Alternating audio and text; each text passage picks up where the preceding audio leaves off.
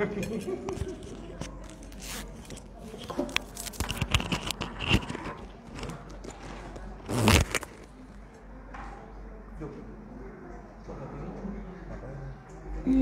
kena virus.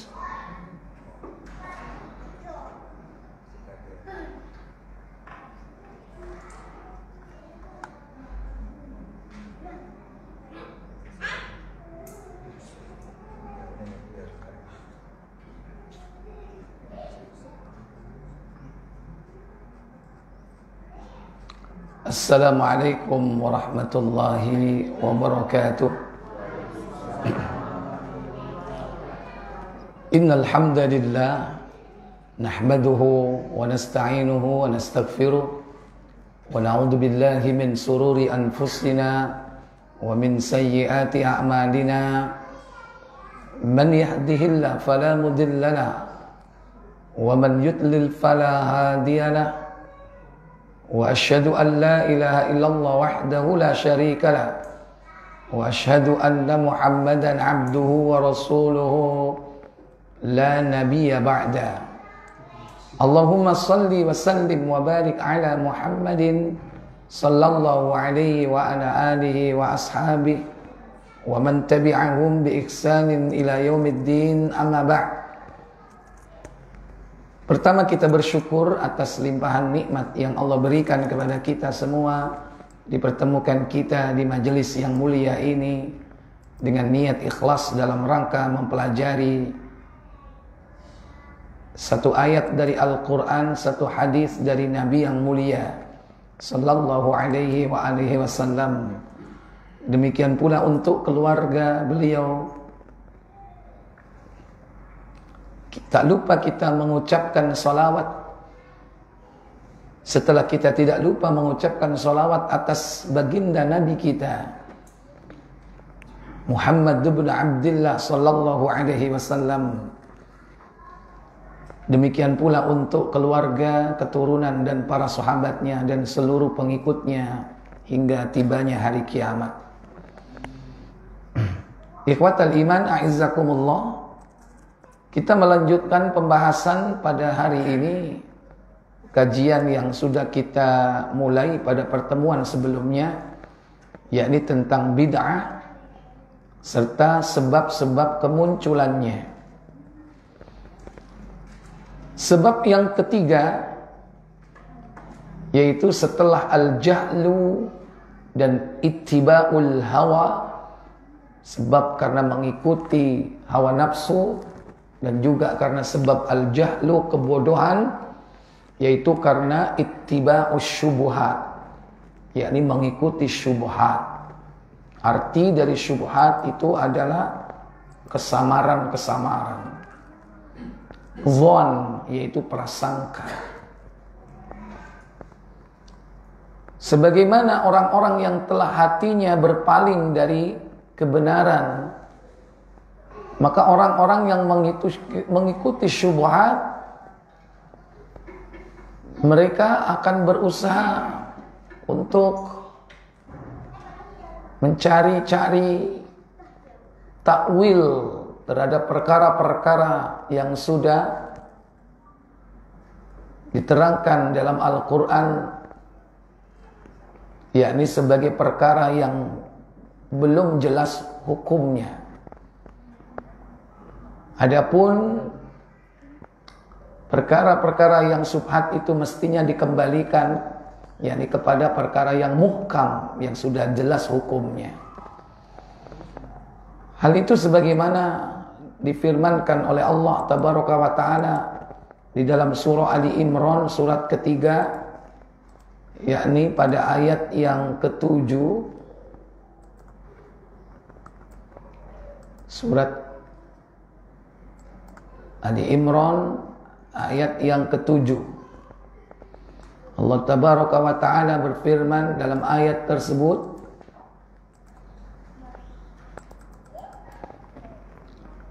Walladhi anzala alaika al-kitaba minhu ayatun muhkamat آيات محكمات هن أم الكتاب وأخر متشابهات وأم فأما الذين في قلوبهم زيغ فيتبعون ما تشابه منه فيتبعون ما تشابه منه ابتغاء الفتنة وابتغاء تأويله. وما يعلم تأويله إلا الله. والراسخ والراسخون في العلم يقولون آمنا به كل min 'indi rabbina wa ma yadhakkaru illa ulul albab. Apa kata Allah Jalla wa ala? Dialah yang menurunkan Alkitab atau Alquran kepada kamu. Di antara isinya ada ayat-ayat Muhammad. Hey, ayat-ayat mu Muhammad. Muhkamat. Muhkamat Hmm, terus. Itulah pokok-pokok isi Al-Quran dan yang lain yaitu ayat-ayat mutasyabihat. Adapun orang-orang dalam hatinya condong kepada kesesatan, maka mereka mengikuti sebagian ayat-ayat yang mutasyabihat daripadanya untuk menimbulkan fitnah, untuk mencari-cari takwilnya. Padahal tidak ada yang mengetahui takwilnya melainkan Allah. Dan orang-orang yang mendalami ilmunya berkata, kami beriman kepada ayat-ayat mutasyabihat. Semuanya itu dari sisi roh kami dan tidak dapat mengambil pelajaran daripadanya melainkan orang-orang yang berakal. Baik. Allah Jalla wa berfirman, "Huwallazi Dialah Allah anzala alaikal kitab yang telah menurunkan Alkitab kepada kalian minhu ayatun muhkamatun di antaranya ada di dalam Al-Quran itu isinya ayat-ayat muhkamat. Apakah ayat-ayat muhkamat itu? Dijelaskan di sini itulah pokok-pokok isi Al-Quran. Yang hukumnya jelas. Tidak perlu ditakwil. Siapa pun akan bisa memahami Mulai dari tingkat yang awam sampai yang alim. Karena dengan bahasa yang lugas, jelas. Itu ayat-ayat muhkamat. Wa ukharu mutasyabihat akan tetapi yang lainnya ada ayat-ayat mutasyabihat. Nah, ini dia. Munculnya bid'ah itu karena ada kecenderungan orang-orang yang di dalam hatinya kecondongan kepada kesesatan itu mengambil perkara-perkara yang mutasyabihat. Termasuk di antara ayat-ayat mutasyabihat. Apa contohnya ayat-ayat mutasyabihat? Baca tafsirnya. Silakan dibuka tafsir ayat ini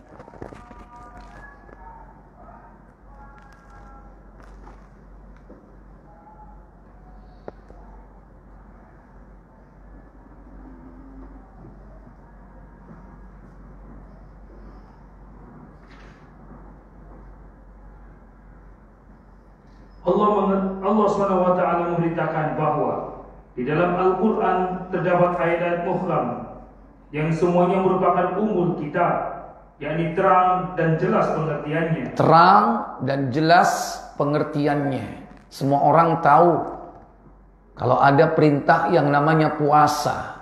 Ya ayyuhalladzina amanu kutiba alaikumus siyam. Juga ada perintah yang namanya salat. Idza kumtum ila sholati faghsilu wujuhakum wa aydiyakum ila al-marafiq wamsahu bi ru'usikum wa arjulakum ila al-ka'bain perintah berwudu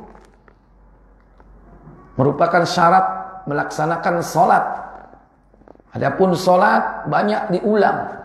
Wa aqimus shalah wa atuz zakat jelas. Tidak perlu takwil. Karena kalimatnya lugas semua orang bisa memahami. Mulai dari orang yang sederhana, pemikirannya yang sederhana, sampai orang yang pandai. Itulah yang disebut ayat-ayat muhkam. Yang merupakan pokok-pokok Al-Quran. Yang isinya tentang hukum. Baik itu perintah ataupun la, larangan. Baik, lanjut. Tiada seorang pun yang mempunyai pemahaman yang keliru tentangnya. Bagian yang lain dari kandungan Al-Quran adalah ayat mutasabbi atau yang sama. Pengertiannya bagi kebanyakan orang atau sebagian dari mereka. Barang siapa yang mengembalikan hal yang mutasabbi kepada dalil yang jelas dari Al-Quran serta memutuskan dengan ayat yang muhkam atas ayat yang mutasabbi, maka sesungguhnya dia mendapat petunjuk. Iya. Itu cara agar selamat dari perkara-perkara yang masih samar karena di dalam Al-Quran ada perkara-perkara mutasyabihat. Maka kembalikan yang mutasyabihat itu kepada yang muhkam. Karena yang muhkam itu sebagai penentu. Maka orang akan mendapatkan petunjuk dengan yang muhkam itu.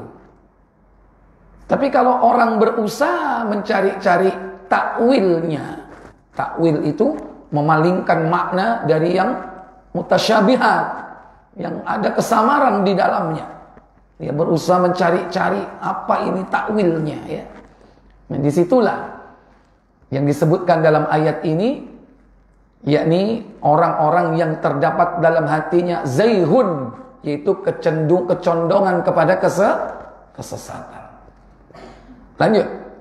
Barang siapa yang terbalik yakni memutuskan yang mutasabi atas muhkam, maka terbaliklah dia. Iya, perkara yang sudah jelas, ya, kemudian diputuskan melalui ayat-ayat yang mutasyabihat.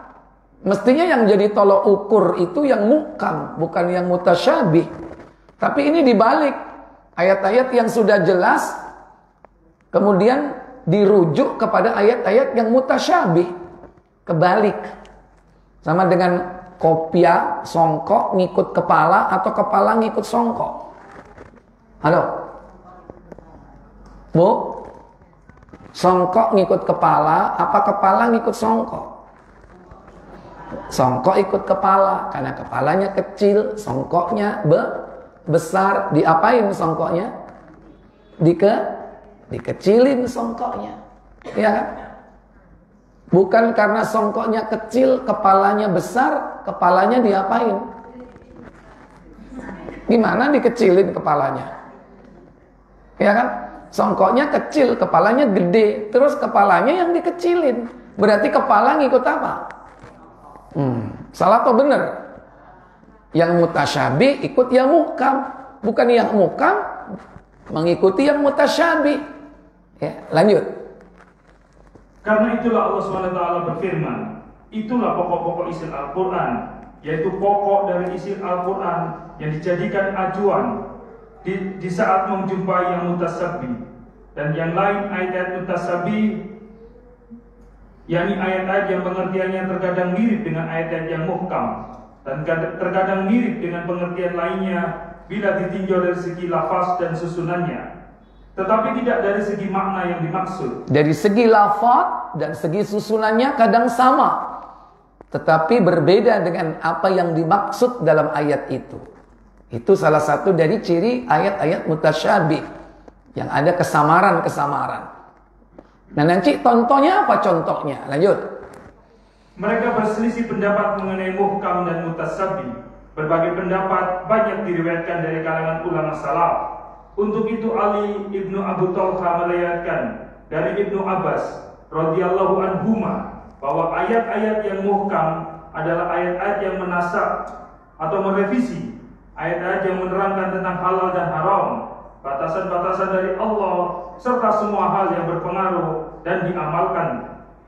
Inilah pendapat dari seorang sahabat ya beliau sendiri adalah ahli takwil yakni Abdullah bin Abbas radhiyallahu taala anhuma. Baik juga pendapat dari yang lain. Apa katanya? Disebutkan pula dari Ibnu Abbas bahwa ayat-ayat muhkam antara lain ialah firman Allah dalam surat Al-An'am ayat 151 surah Al-An'am ayat 151 ya. Terus? Yang artinya katakanlah Muhammad marilah kubacakan apa yang diharamkan atas kalian oleh Rob kalian, yaitu janganlah kalian mempersekutukan sesuatu dengan Dia. Dan ayat-ayat lain yang sesudahnya juga berfirman Allah SWT di dalam surat Al-Isra ayat 23. Dan Robmu telah memerintahkan supaya kalian jangan menyembah selain Dia. Serta ketiga ayat sesudahnya, Ibnu Abu Hatim meriwayatkannya pula. Dia meriwayatkannya dari Sa'id Ibnu Jubair dan lapas yang sama.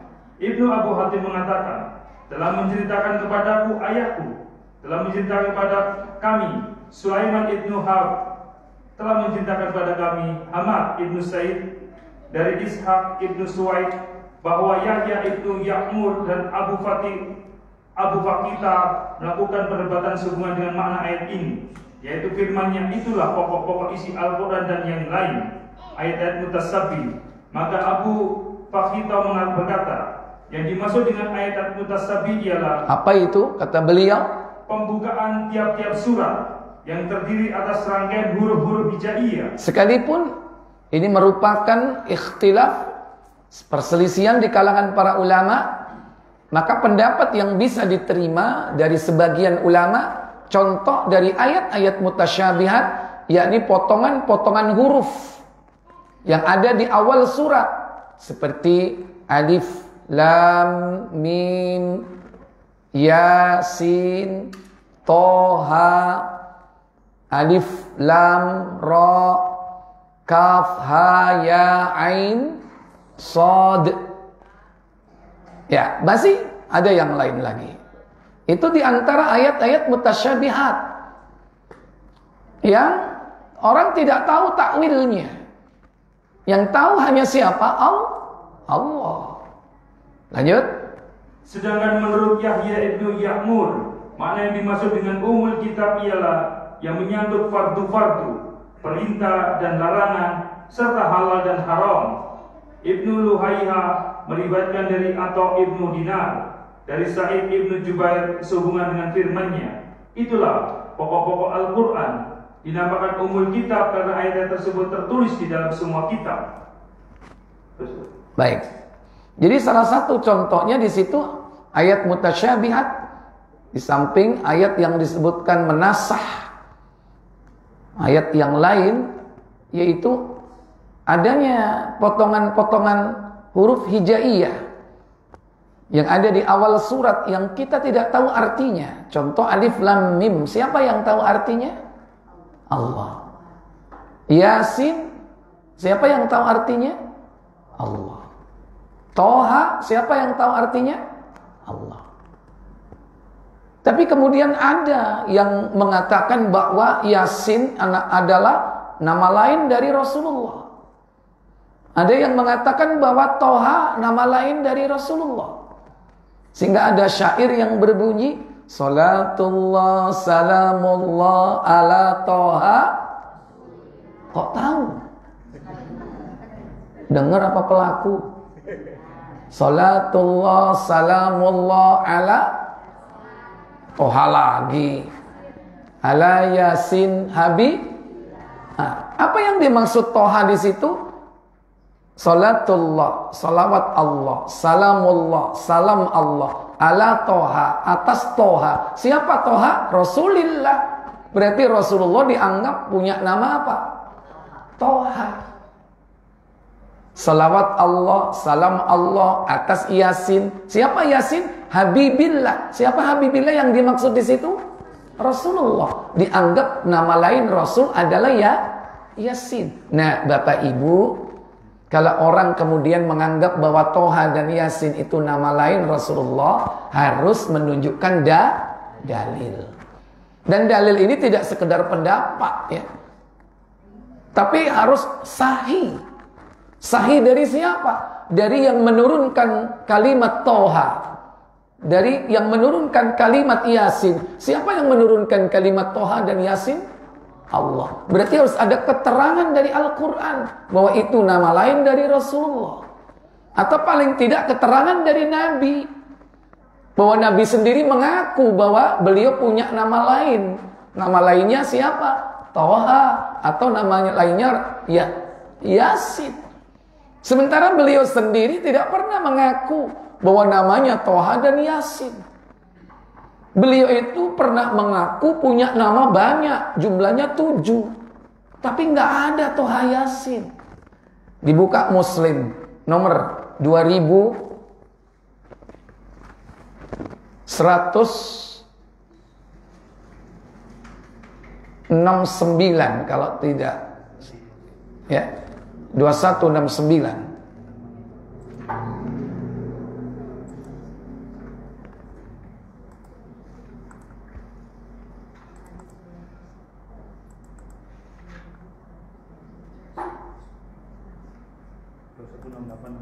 2168, 2169 ya kan?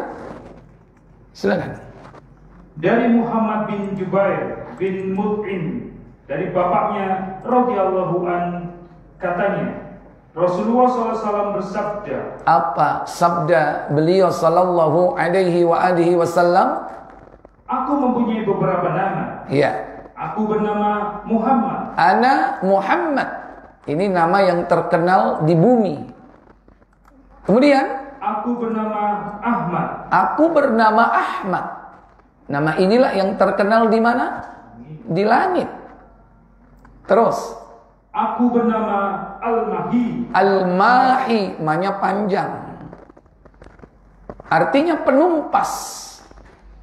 Artinya maksudnya adalah di mana Allah menumpas kekafiran karenaku. Yamhullahu bil kufri.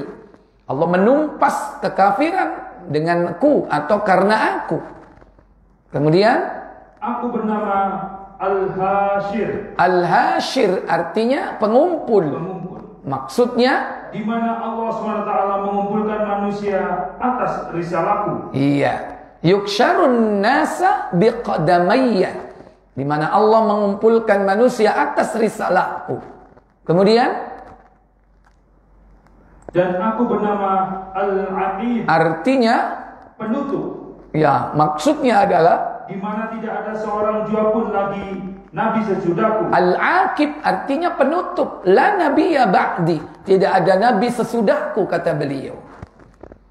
Sudah berapa berarti nama beliau? Ada? Ah? Lima. Apa saja tadi Bu? Ahmad, Muhammad, Ahmad, terus Al-Mahi, Al-Hashir, Al-Aqib. Ya. Udah lima. Kemudian ada dua yang menjadi satu. Apa itu? Dan sesungguhnya aku juga sesungguhnya juga aku oleh Allah diberi nama Rauf atau penyantun dan Rahim penyayang. Nabi juga diberi nama oleh Allah Rauf dan juga Ra Rahim. Bukan Ar-Rauf kalau Ar-Rauf yang Maha Penyantun. Siapa? Allah. Bukan Ar-Rahim kalau Ar-Rahim yang Maha Penyayang. Siapa yang maha penyayang? Allah. Kalau Ra'uf dan Rahim adalah Nabi. Sebagaimana didasarkan atas firman Allah dalam surah At-Taubah. Yaitu surat yang ke 9 pada ayat yang ke 128. Di mana Allah tabaraka taala berfirman Laqad ja'akum rasulun min anfusikum azizun Azizun alaihi ma anittum harisun alaikum harisun alaikum bil mu'minina raufur rahim.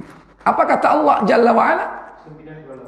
128. Sungguh telah datang kepadamu seorang Rasul dari kaummu sendiri. Berat rasa olehnya penderitaanmu. Sangat menginginkan keimanan dan keselamatan bagimu. Amat belas kasihan lagi penyayang terhadap orang-orang mukmin. Amat belas kasihan dan penyayang. Itulah nama beliau yang disebut dengan Raufur Rahim. Rauf dan Rahim. Ya. Ini nama beliau. Ada berapa berarti totalnya di sini? Tujuh. Masih ada lagi? Baca selain itu. 2169. Dalam dari, dari Abu Musa al-As'ari radhiyallahu an katanya, Rasulullah SAW menyebut beberapa nama kepada kami sebagai nama beliau pribadi. Sabdanya. Apa sabda beliau sallallahu alaihi wasallam? Aku bernama Muhammad Terus? Ahmad. Kemudian Ahmad sama masih ada? Terus? Al-Muqaffa. Al-Muqaffa itu sama dengan apa? Al-Aqib. Al-Aqib penutup. Al-Muqaffa. Tambahannya apa? Al-Hasir. Sama dengan sebelumnya? Nabi Taubah. Nabi Taubah. Nabi yang masih memberikan kesempatan bagi umatnya untuk bertaubat. Kemudian dan Nabiur Rahman. Nabiur Rahman. Nabiur Rahman. Nabi yang penuh dengan kasih sayang. Bukan hanya memberikan kesempatan bagi umatnya bertobat, tapi Nabi sendiri adalah orang yang sangat rajin bertau bertobat. Dalam sehari beliau tidak kurang dari 100 kali bertobat kepada Allah. Padahal beliau terpelihara dari do, dosa. Tapi 100 kali Beliau bertobat dalam sehari. Nabi Taubah. Dan Nabi juga memberikan kesempatan bagi umatnya untuk kembali kepada Allah Jalla wa'ala. Tidak sebagaimana umat-umat sebelumnya. Menentang dakwah. Maka Allah menurunkan azab. Sehingga mereka habis. Ini berkaitan dengan nama beliau Nabiur Rahman. Nah ini nama-nama beliau. Tohanya ada nggak? Tohanya ada enggak? Yasin ada enggak? Iya. Nah ini contoh yang mengikuti ayat-ayat mutasyabihat. Kenapa? Walladina fi kulubihim zayghun. Adapun orang-orang yang di dalam hatinya terdapat apa? Zayghun. Fayattabi'una ma tashabaha. Maka mereka mengikuti sebagian dari ayat-ayat mutasyabihat untuk apa? al fitnah. Untuk menimbulkan fitnah. al ta'wili. Dan juga mencari-cari takwilnya. Dan masih juga banyak yang lainnya. ya Sehingga karena sebab inilah kadang muncul amalan-amalan bid'ah. Baik. Kemudian selanjutnya penyebab berikutnya adalah karena lebih mengutamakan akal pikiran. Mengutamakan apa? A? Akal. Ini termasuk penyebab munculnya perbuatan bid'ah.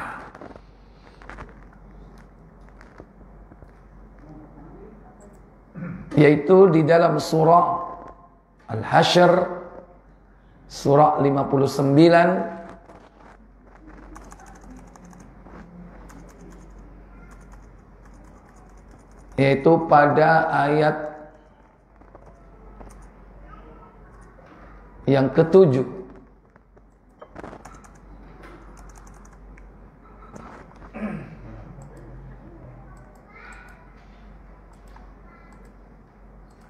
Surat apa tadi?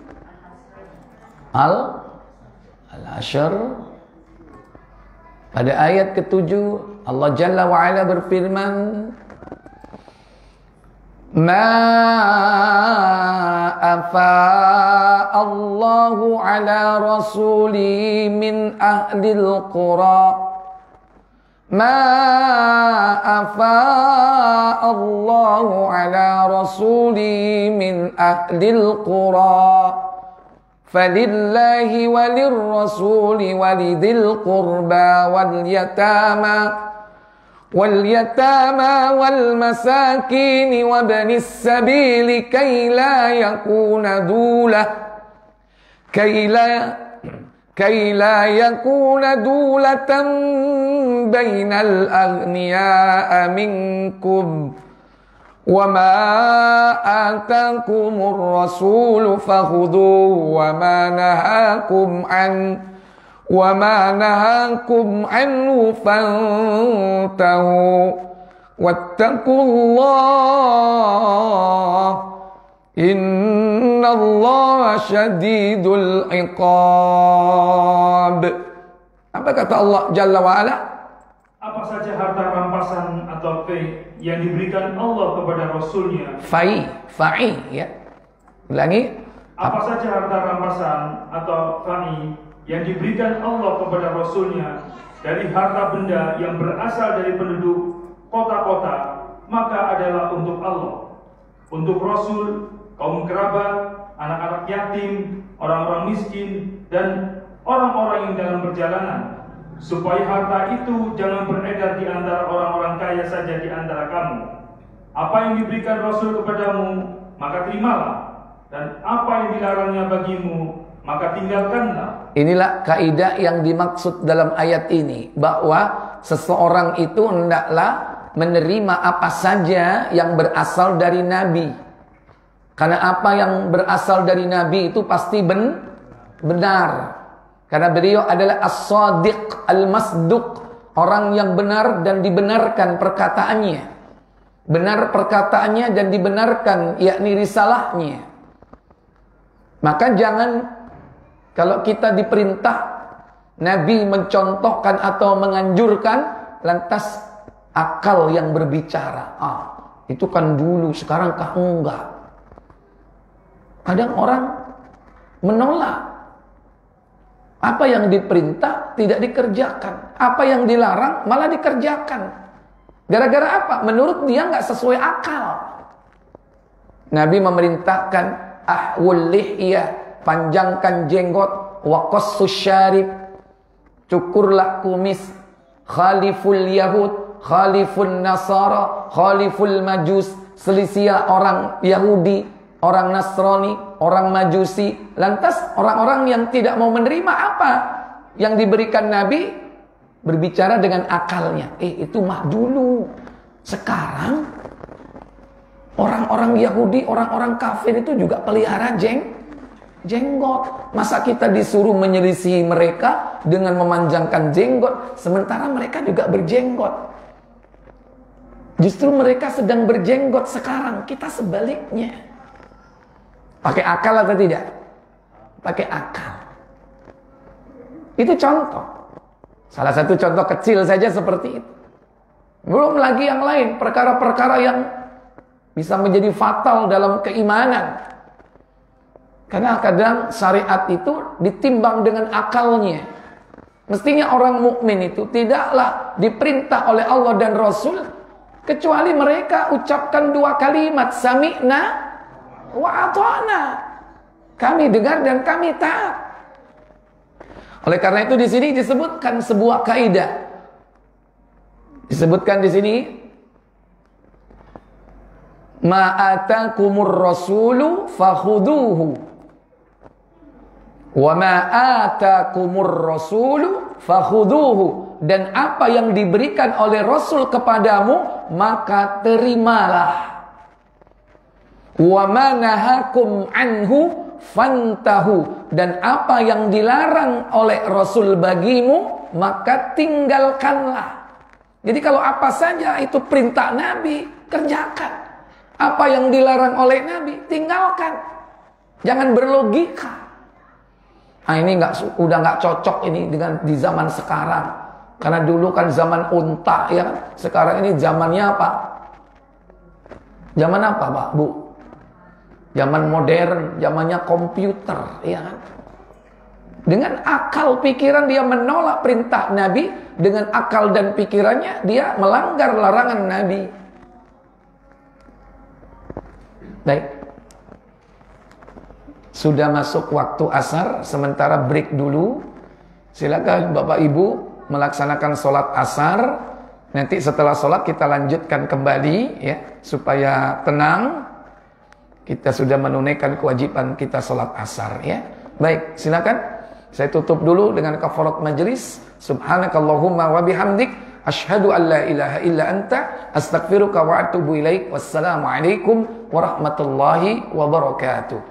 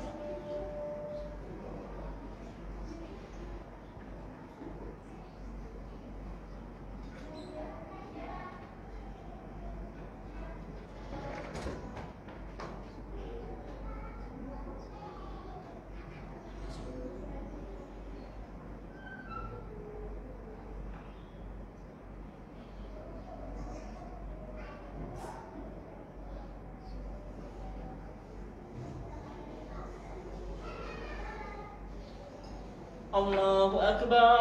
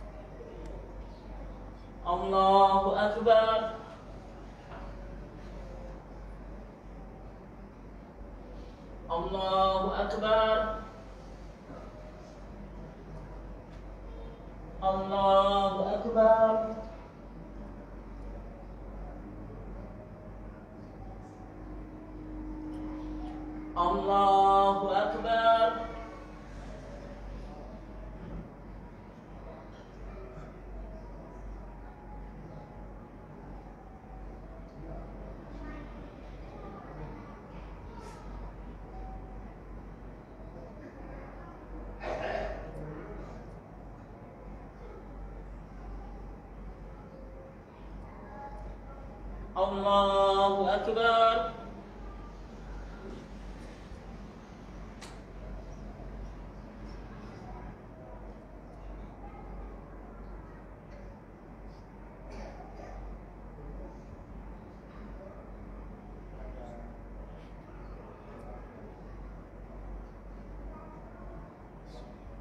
الله أكبر.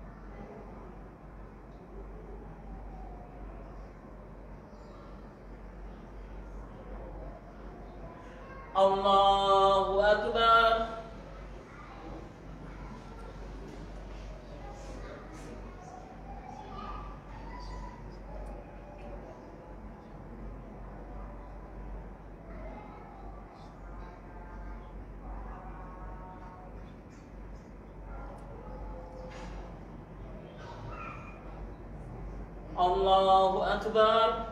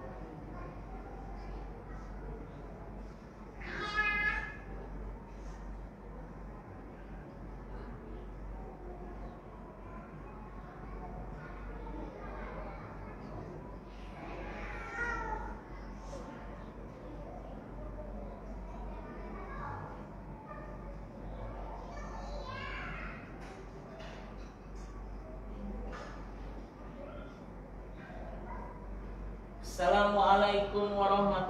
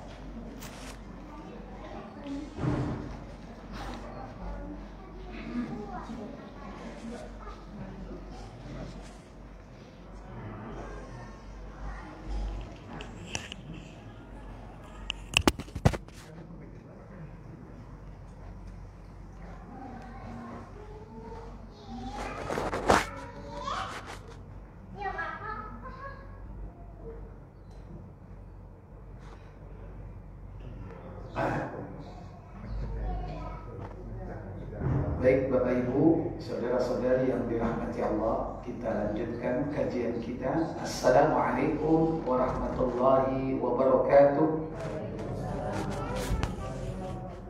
Alhamdulillah wassalatu wassalamu ala Rasulillah wa ala alihi wa sahbihi wa tasliman katsira amma ba'd. Kita sampai kepada sebab yang keempat. Karena tidak mau menerima apa yang berasal dari Allah dan Rasulnya Masih banyak pertimbangan. Di antara faktor mereka mempertimbangkan perintah atau tidak mau menerima apa yang datang dari Allah dan Rasul karena akalnya. Karena pertimbangan akalnya. Di samping surah Al-Hasyr, surah 59 ayat yang ke-7 juga kita bisa buka surah Al-Ahzab 33 ayat 36.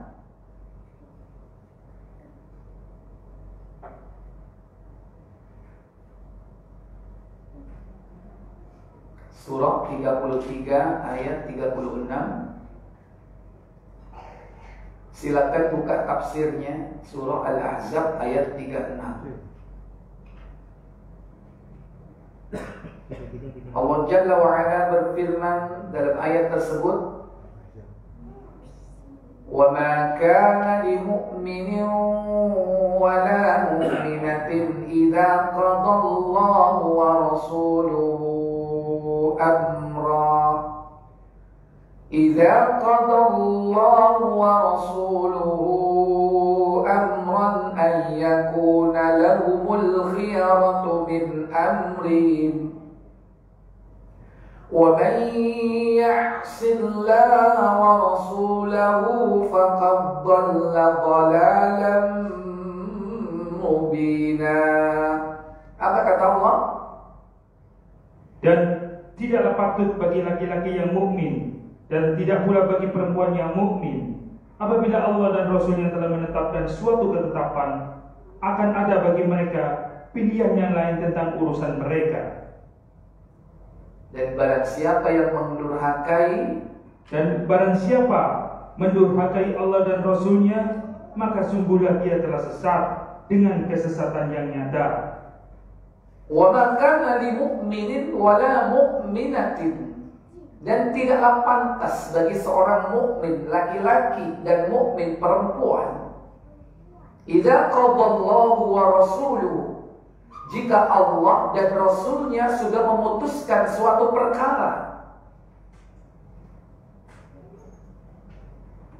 Jadi kalau Allah sudah memutuskan perkara, demikian pula Rasul kalau sudah memutuskan perkaranya, ayyakuna lahumul khiyaratu min amrihim. Lantas ada bagi mereka satu alternatif atau pilihan tentang urusan mereka tersebut. Mestinya kita mencukupkan diri kepada keputusan Allah, perintah Allah, apa yang dilarang oleh Allah. Kita mencukupkan diri dengan apa yang diperintahkan oleh Rasul dan apa yang dilarang oleh Rasul. Tidak perlu kita mencari alternatif Makanya di sini dikatakan ayyakuna lahumul khiyar. Lantas ada pilihan bagi mereka min amrihim dari urusan mereka. Nah biasanya alternatif ini karena pertimbangan apa? Akal. Mestinya akal ini harus tunduk kepada apa? Wah, wahyu. Akal ini tunduk kepada dalil terhadap kalau Allah, kalau Rasulullah mau tidak mau harus menerima tanpa reserve, tanpa ada objection, penolak, penolakan. Ya sudah diterima aja. Nah umumnya perbuatan bid'ah itu karena orang itu jauh dari syariat Allah, jauh dari tuntunan sunnah Rasulullah, sementara mereka lebih mengutamakan akal pikirannya. Ini sebab-sebab munculnya perbuatan bid'ah. Bagaimana contohnya? Dijelaskan dalam tafsir tentang ayat ini Bagaimana mereka sampai kemudian menolak perintah Rasul hanya karena nggak sesuai dengan akalnya. Silakan. Al-Aufi telah meriwayatkan dari Ibnu Abbas sehubungan dengan makna firman-Nya dan tidaklah patut bagi laki-laki yang mukmin dan tidak pula bagi perempuan yang mukmin dalam dalam surat Al-Asr ayat 36. Pada mulanya Rasulullah SAW pergi untuk melamar buat pelayan laki-lakinya yang bernama Zaid ibnu Ariza. Maka beliau masuk ke dalam rumah Zainab binti Jahsi al-Asadiyah radhiyallahu anha dan beliau SAW langsung melamarnya buat Zaid. Iya, Zaid adalah putra angkat Rasulullah, anak angkat Rasulullah, Zaid bin Harithah. Di mana beliau hendak melamar Zainab binti Jahsy untuk mendapatkan atau untuk dijodohkan dikawinkan dengan Zaid bin Harithah anak angkatnya. Maka Rasul datang ke rumah Zainab lantas melamarnya untuk si Zaid bin Harithah. Kemudian apa yang terjadi pada reaksi Zainab binti Jahsh Ayo. Tetapi Zainab binti Jahsi menjawab, aku tidak mau menikah dengannya. Rasulullah SAW bersabda, tidak, bahkan kamu harus menikah dengannya. Zainab, bin, Zainab binti Jahsi berkata, wahai Rasulullah, apakah engkau mengatur diriku? Ketika godanya sedang berbincang-bincang mengenai hal tersebut, Allah SWT menurunkan firman-Nya yang artinya dan tidaklah patut bagi laki-laki yang mukmin dan tidak pula bagi perempuan yang mukmin apabila Allah dan Rasulnya telah menetapkan sesuatu ketetapan hingga akhir ayat. Akhirnya Zainab binti Jasi bertanya, wahai Rasulullah, apakah engkau rela menikahkan dia denganku? Iya. Padahal menurut akal memang nggak cocok. Zainab binti Jahsy wanita terhormat. Zaid bin Harithah adalah anak angkat Rasul, adalah mantan budaknya. Ya. Ikhwat al-iman a'izzakumullah. Jadi ini salah satu contoh bahwa kadang akal kita ini tunduk. Masa aku harus nikah sama si Zaid bin Haritha? Kalau bahasa kita ah, nggak level, nggak le, nggak level. Menurut akal begitu. Kadang ada menurut perasaan, kadang menurut akal. Tapi kadang hitung-hitungan akalnya ini yang berbicara dan lebih dominan. Nah kalau perempuan ini lebih dominan apanya? Pra, perasaannya. Sama saja antara akal dan perasaan. Yang jelas keduanya antara akal dan perasaannya harus tunduk. Tunduk dengan keputusan Allah dan Rasul. Tunduk kepada nas. Itu mestinya. Kemudian Rasulullah SAW menjawab, iya. Iya, itu keputusan Allah dan Rasulnya. Karena apa yang diputuskan Allah dan Rasulnya itu pasti baik bagi hambanya. Ada hikmah di balik itu. Setelah Nabi menjawab bahwa ini adalah keputusan Allah dan Rasulnya, apa kata Zainab? Zainab berkata, kalau demikian, saya tidak akan menentang perintah Rasulullah SAW. Iya. Saya rela dinikahkan dengannya. Sekalipun menurut akal dia, menurut perasaannya nggak cocok. Tapi karena itu perintah Allah dan perintah Rasul dia taat. Ini dia. Ketaatan Zainab binti Jahsy yang nanti akhirnya menjadi istri Rasulullah. Berarti apa? Bekas Hah? bekas istri anak angkatnya. Ternyata ada hikmah besar di balik kasus ini. Apa? Allah dan Rasulnya hendak menghapus anggapan bahwa anak angkat adalah sama dengan anak sendiri. Kalau anak sendiri punya istri, ketika dia sudah bercerai, istrinya boleh dinikahi ya? Haram untuk selamanya. Karena dia jadi mahram. Mantu kita si laki-laki ya bagi ibu mantu laki itu menjadi mahram selamanya. Tidak boleh dinikah sekalipun sudah cerai dengan anak perempuan kita. Demikian pula seorang lelaki apabila punya anak mantu perempuan tidak lain adalah istri dari anak laki-laki kita. Sekalipun dia sudah bercerai dia tetap tidak boleh dinikah selama-lamanya Kenapa? Karena dia sudah dijima oleh anak laki kita. Kalau ibu-ibu dia punya anak laki karena anak lakinya sudah pernah menjima yakni perempuan itu, maka bagi ibu dia jadi mahram. Untuk selama-lamanya tidak boleh dinikahi. Tapi dalam kasus ini apa? Nanti setelah dinikahi Allah Jalla wa'ala menakdirkan terjadi perceraian antara Zaid bin Haritha dan Zainab binti Jahsy. Terjadilah perceraian. Setelah perceraian terjadi, Rasulullah datang yakni menikahi Zainab binti Jahsy. Bahkan Allah sendiri yang menikahkannya dari atas langit. Dinikahkan langsung oleh Allah. Untuk apa? Menghapus hukum jahiliyah yaitu anggapan bahwa anak angkat sama dengan anak sendiri. Kalau hukum anggapan bahwa anak angkat sama dengan anak sendiri, maka Rasul tidak boleh menikahi Zainab. Tapi ternyata justru Rasul menikahi Zainab binti Jahsy menjadi salah satu istrinya dari sembilan istrinya.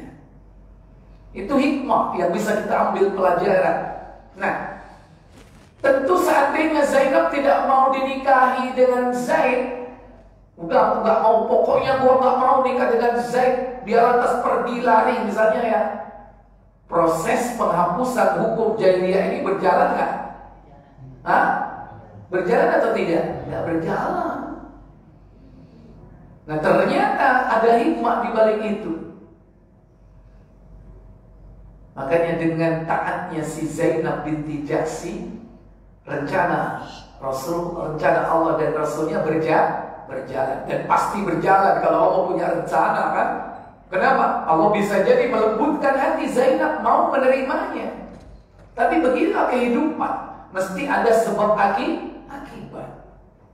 Sekalipun manusia berkehendak, tapi kehendak manusia tidak bisa lepas dari kehendak Allah. Ma tasha'una illa an yasha Allahu rabbul alamin. Baik, lanjut.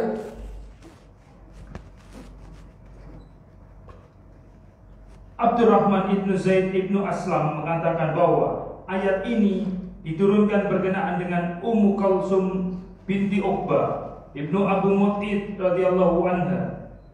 Dia adalah seorang wanita yang mula-mula berhijrah, yakni sesudah perjanjian Hudaybiyah. Lalu ia menyerahkan dirinya kepada Nabi SAW. Maka Nabi SAW bersabda, Aku terima penyerahan dirinya. Lalu Nabi SAW mengawinkannya dengan Zaid bin Haritha radhiyallahu an, yakni hanya Allah yang Maha mengetahui. Kisah ini terjadi sesudah Zaid ibnu Haritha bercerai dengan Zai- Zainab binti Jahsi. Maka Zainab dan saudara lakinya marah. Seraya berkata, sesungguhnya kami menghendaki diri Rasulullah SAW, tetapi ternyata beliau mengawinkan kami dengan bekas budaknya. Hmm, mengawinkan dengan bekas budaknya. Padahal Zainab ada keinginan untuk dinikahi oleh Rasul. Tapi kok malah dinikahkan dengan budaknya? Padahal mereka tidak tahu rencana Allah dan Rasulnya yang lebih besar keutamaannya demi kemaslahatan umat manusia setelahnya. Baik, lanjut. Maka turunlah, turunlah ayat ini yaitu Al-Azab ayat 36 yang artinya dan tidaklah patut bagi laki-laki yang mukmin dan tidak pula bagi perempuan yang mukmin apabila Allah dan Rasulnya telah menetapkan suatu ketetapan. Abdurrahman ibnu Zaid ibnu Aslam mengatakan bahwa telah diturunkan pula suatu perintah yang lebih mencakup artinya ketimbang ayat ini, yaitu firman Allah surat Al-Azab ayat 6 Nabi itu hendaknya lebih utama bagi orang-orang mukmin daripada diri mereka sendiri. Ya. Lanjut, ada kasus lain. Ayat di atas mengandung pengertian khusus, sedangkan ayat ini mengandung pengertian yang lebih umum. Imam Ahmad mengatakan dari Anas radhiyallahu an yang menceritakan bahwa Nabi SAW melamar seorang wanita dari kalangan Ansor Untuk siapa? Ada seorang sahabat bernama Julaibib. Si Julaibib. Si Julaibib ini miskin, tak punya apa-apa. Oke. Tapi Rasul mencarikan jodoh. Melamar seorang wanita untuk si Julaibib. Maka jangan melihat Julaibib hanya sekedar tampangnya dan tongkrongannya kan. Ternyata beliau ada ahli surga. Baik, bagaimana kasusnya? Nabi melamar seorang wanita dari kalangan Ansor kepada ayahnya untuk beliau kawinkan dengan Julaibib. Maka ayah si wanita berkata, saya akan bermusyawarah dahulu dengan ibunya. Iya, ntar dulu ya, gua mau musyawarah dengan ibunya sama emaknya. Kenapa? Karena sebelumnya banyak laki-laki yang datang meminang wanita ini. Kok ini datang si Julaibib, tapi rekomnya siapa? Rasulullah. Kalau ibu dilamar oleh orang melarat, tapi rekom dari Rasul diterima nggak? Oh ya sekarang. Kenapa mau diterima? Karena yang rekomnya siapa? Rasulullah Sallallahu Alaihi Wasallam. Tapi situasi pada saat itu berbeda, ya. Karena kita tidak tahu jiwa manusia itu berubah-ubah. Baik, lanjut. Nabi SAW menjawab, kalau begitu silakan. Silakan antum bermusyawarah dengan istrinya, an dengan istrimu, ya, dengan ibunya anak si wanita ini. Kemudian Maka lelaki itu berangkat menemui istrinya dan menceritakan kepada istrinya tentang lamaran Nabi SAW. Istrinya berkata, tidak.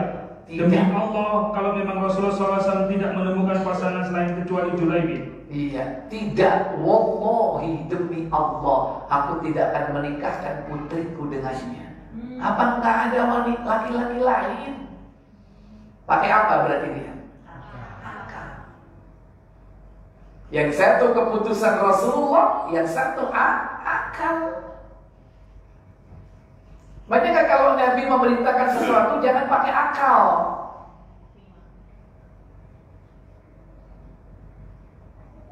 Nabi mencontohkan bagaimana cara berpakaian tidak boleh melewati mata kaki. Kalau menurut akal cocok nggak? Cocok nggak menurut akal? Hah? Enggak kan? Kayak orang apa? Kebanjiran, Astagfirullahaladzim. Menurut akal nggak cocok. Bahkan idealnya itu batas pakaian laki itu setengah ber setengah betis kalau belum bisa turunkan kalau belum bisa turunkan lagi kalau belum bisa turunkan lagi asal jangan melewati mata kaki kalau udah lewat mata kaki nah itu berarti menyelisih apa yang disampaikan oleh Nabi kenapa orang menolak karena pakai akalnya Ah dulu kan pakai gamis ya, sekarang kan pakai celana beda. Dari dulu sudah ada celana, semua ada jenis-jenis style pakaian zaman dulu sudah ada. Celana sudah ada. Ibu kan sering nonton kan Aladin kan. Aladin itu pakai sarung apa pakai celana? Ya lanjut, ya, kok ke menjurus ke Aladin. Lanjut. Sesungguhnya kita telah menolak lamaran si Fulan bin Fulan sebelum itu. Iya, coba katanya si ibu ini. Kita sudah menolak lamaran Fulan, menolak lamaran Fulan. Padahal Fulan Fulan yang ditolak ini lebih baik masih daripada Julai. Julai bin. Oh ini kok Julai bin? Hanya karena yang meminta itu adalah Rasul.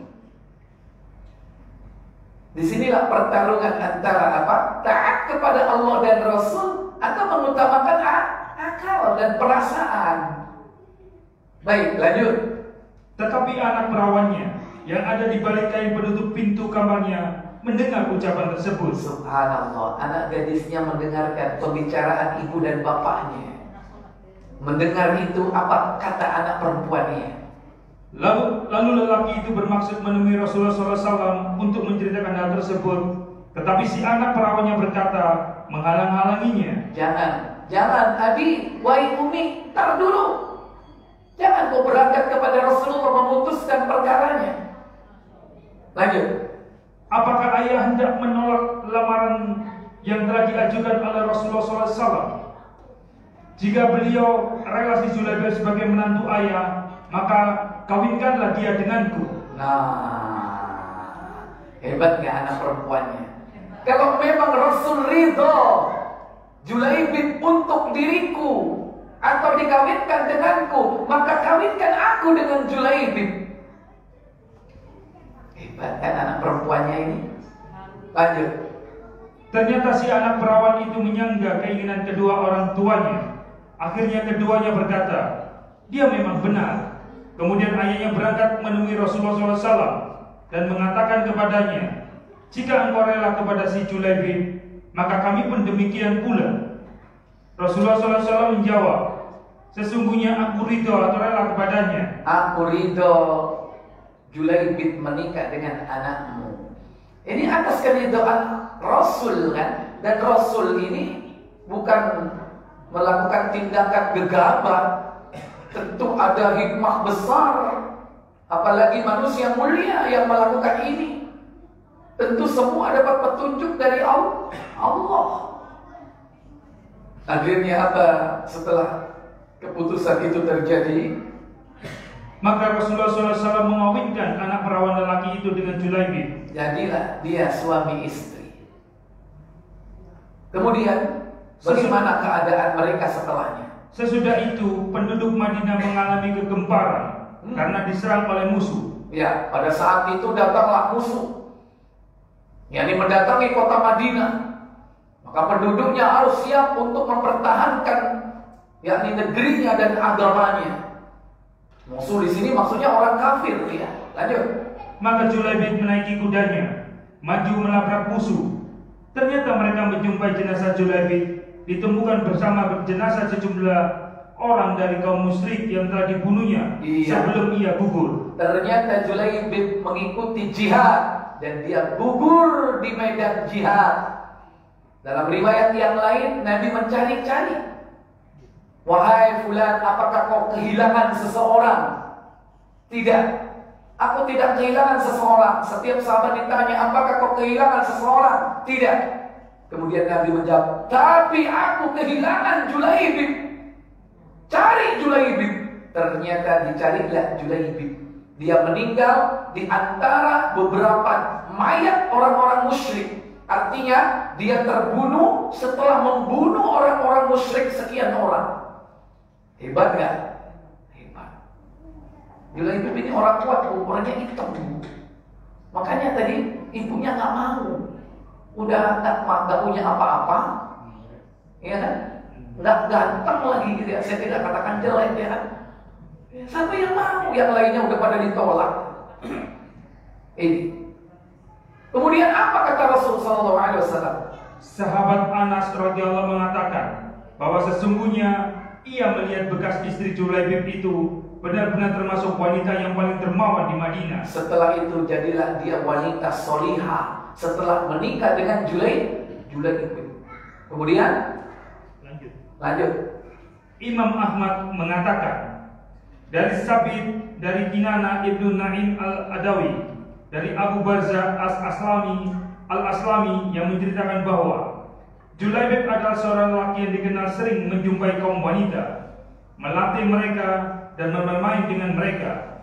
Lalu aku berkata kepada istriku, jangan sekali-sekali kalian memasukkan Julaibib ke dalam rumah kami, ke rumah kalian, karena sesungguhnya jika kamu coba-coba berani memasukkan Julaibib, maka aku akan menghukum kamu.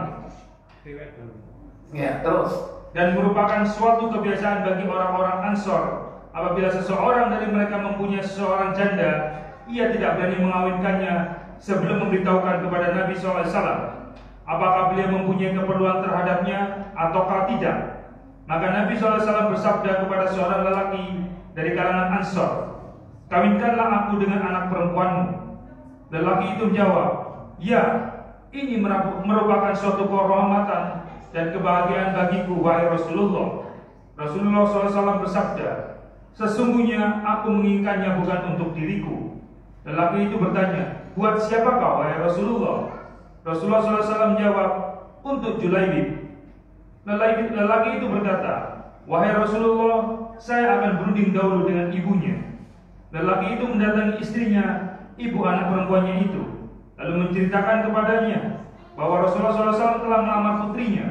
Maka istrinya menjawab, baiklah, itu merupakan suatu kebahagiaan. Lelaki itu berkata menjelaskan, tetapi beliau melamar putri kita bukan untuk dirinya, Bukan untuk Rasulullah, tapi untuk siapa? melainkan untuk Julaibib. Lanjut.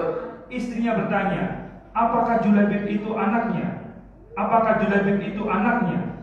Tidak, demi usia demi Allah. Demi Ya. Allah, kami tidak akan mengawinkannya dengan Julaibib.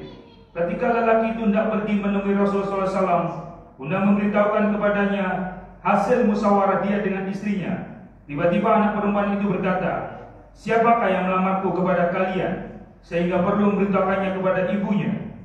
Perempuan itu melanjutkan perkataannya, Apakah kalian menolak lamaran Rasulullah SAW? Sesungguhnya dia tidak akan menyia-nyiakan diriku. Iya, sesungguhnya dia tidak menyia-nyiakan diriku. Karena dia yakin dengan Rasulullah. Lanjut. Akhirnya ayahnya pergi menemui Rasulullah SAW dan berkata kepadanya, Saya serahkan dia kepadamu. Kawinkanlah dia dengan Julaibib. Rasulullah SAW pergi ke medan perang. Ketika Allah memberikan kemenangan kepadanya, maka beliau bersabda kepada para sahabatnya, Apakah kalian merasa kehilangan seseorang? Mereka menjawab, Kami kehilangan si Fulan dan kami kehilangan si Anu. Rasulullah SAW kembali bersabda, Periksalah, apakah kalian kehilangan seseorang? Mereka menjawab, tidak ada lagi. Rasulullah SAW bersabda lagi, Apa sabdanya?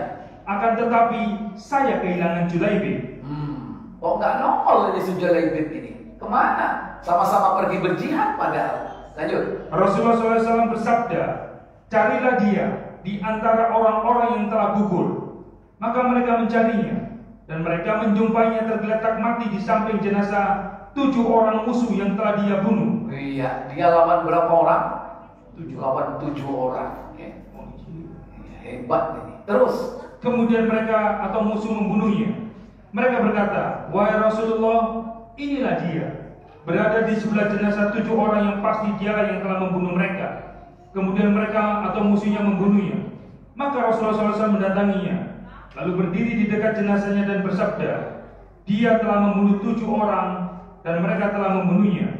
Orang ini termasuk golonganku dan aku termasuk golongannya. Wa minni wa ana minhu. Orang ini termasuk golonganku dan aku adalah golongan dia. Kalau orang sudah mengata, dikatakan seperti itu, berarti orang ini hebat atau tidak? Hebat banget. Lanjut. Rasulullah menyebut mengatakan demikian dua sampai tiga kali. Kemudian Rasulullah SAW meletakkan jenazahnya pada kedua lengannya, lalu menguburkannya. Iya, Rasulullah sendiri yang menguburnya. Diletakkan jenazahnya di atas lengannya, digotong itu oleh Rasulullah. Sebuah kemuliaan dari tangan manusia mulia. Diangkat oleh Rasul Sallallahu Alaihi Wasallam si Julaibib, diletakkan di dalam kuburnya. Lanjut. Jenazahnya tidak memakai kain selain dari kedua lengan Nabi Sallallahu Alaihi Wasallam yang memanggulnya, kemudian diletakkan di dalam kuburnya. Tiada suatu riwayat pun yang menyebutkan bahwa Nabi Sallallahu Alaihi Wasallam memandikannya. Karena dia mati syah, syahid, tidak perlu dimandikan. Terus, Sabit radhiyallahu an mengatakan bahwa sesudah itu tiada seorang janda pun di kalangan orang-orang Ansor yang lebih dermawan daripada janda Julaibib itu. iya. Kalau dermawan berarti pengertiannya dia diberikan apa? Kelapangan, kelapangan rizki. Dilimpahkan rizkinya setelah dia menikah dengan siapa? Dengan Julaibib. Dan wanita ini akhirnya menjanda sampai kematiannya. Kenapa? Karena dia berharap bertemu dengan Julaibib. Karena seorang wanita itu akan bertemu dengan suami terakhir. Ya kan? Kalau dia menikah lagi, maka dia tidak akan pernah berjumpa dengan Julaibib Julaibib di akhirat. Karena Julaibib udah pasti mana? Sudah pasti surga. Kalau udah pasti, ya jangan menengok-tengok yang lain. Kalau udah pas, pasti. Kecuali kalau belum pasti, boleh silakan. Loh, kok ketawa? Ya, lanjut. Ishak ibnu Abdullah Abu Talha bertanya kepada Sabit, Apakah engkau mengetahui apa yang telah didoakan oleh Rasulullah SAW buat wanita itu? Sabit menjawab bahwa Rasulullah SAW memanjatkan doa berikut buatnya. Ya Allah, curahkanlah kepadanya nikmatmu sederas-derasnya dan janganlah engkau jadikan penghidupannya sengsara. Karena sebelumnya kehidupan keluarga wanita ini sengsara, sengsara. Setelah menikah dengan Julaibib, ternyata Allah limpahkan rizkinya. Bukan karena sekedar menikah dengan Julaibib, karena apa? Ketaatannya kepada siapa? Allah dan Rasul. Kalau orang itu taat Allah kepada Rasul, menerima keputusan dari Allah dan Rasul, pasti dia akan diberikan apa? Jalan keluar dalam hidupnya. Wa may Barang siapa yang bertakwa kepada Allah, yaj'al lahu makhraja. Maka Allah akan memberikan jalan keluar, way out, jalan keluar dalam hidupnya. Wa yarzuqhu min haitsu la yahtasib. Dan Allah akan memberikan rizki dari jalan yang tidak disangka-sangka. Kemudian sedikit lagi Doa beliau dikabulkan oleh Allah. Maka tiada seorang janda pun di kalangan Ansor yang lebih dermawan daripada wanita itu. Iya. Ini hikmah yang bisa dipetik dari orang yang lebih mengutamakan keputusan Allah dan Rasulnya daripada mengutamakan akalnya. Kalau manusia mengutamakan akal dan perasaannya, tentu Allah dan Rasulnya bukan hanya tidak ridho, tapi pasti tidak akan ada kebaikan yang banyak dalam hidupnya. Baik. Kemudian yang kelima, sebab munculnya bid'ah karena yaitu fanatisme yang ada pada diri manusia. Fanatisme atau karena taklid dia.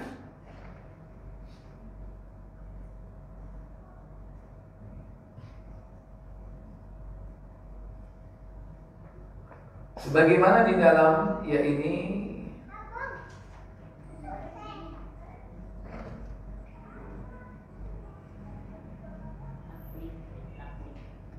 taklid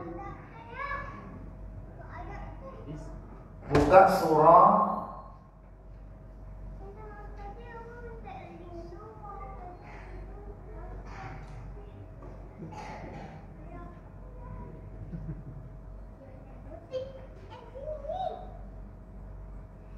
Panen tulisan Arabnya jadi begini.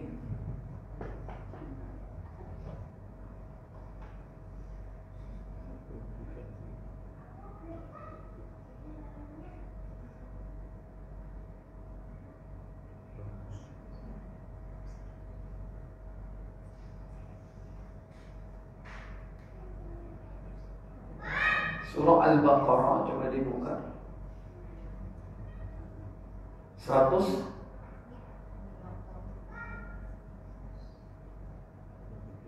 70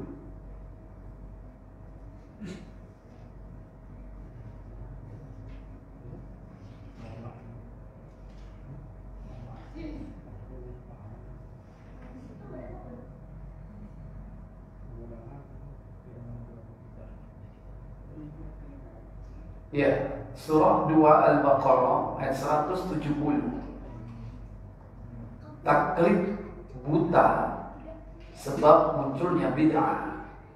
Dan juga karena fanatisme fanatik kepada nenek moyang. Ini di antara penyebab orang berbuat bid'ah. Kata Allah Jalla wa'ala dalam surah Al-Baqarah pada ayat yang kedua وَإِذَا قِيلَ لَهُمُ اتَّبِعُوا مَا أَنزَلَ اللَّهُ قَالُوا قَالُوا بَلْ نَتَّبِعُ مَا أَلْفَيْنَا عَلَيْهِ آبَاءَنَا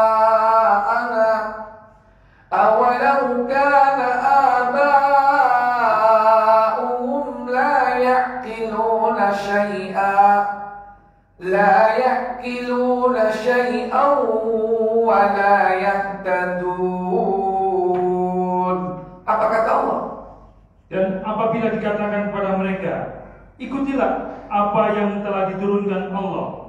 Mereka menjawab, Apa jawabnya? tidak.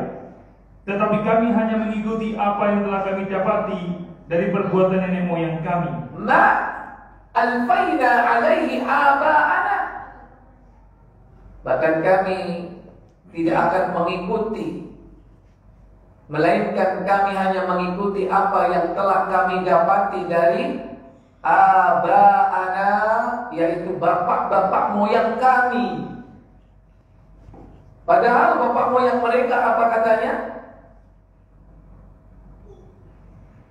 Apakah mereka akan mengikuti juga walaupun nenek moyang mereka itu tidak mengetahui suatu apa pun dan tidak mendapat petunjuk? Awalau kana aba'um la ya'lamuna syai'an wa la yahtadun Apakah mereka akan tetap mengikuti juga sementara bapak moyang mereka itu tidak mengetahui apa pun? La ya'lamuna syai'a. Wa lahum yahtadun. Dan mereka tidak mendapatkan petunjuk dari Allah. Ini nenek ini diganti aja ya. Karena abah itu artinya bang bapak ya kan? Karena itu tradisi di negeri kita. Ya nenek moyang kelihatannya menarik garis keturunan dari wanita. Mestinya bapak moyang di mana itu yang menarik garis keturunan wanita? Hah? Hmm, iya kan? Kalau yang menarik keturunan dari perempuan? Enggak ada enggak di Indonesia? Nah itu tadi disebut. Di mana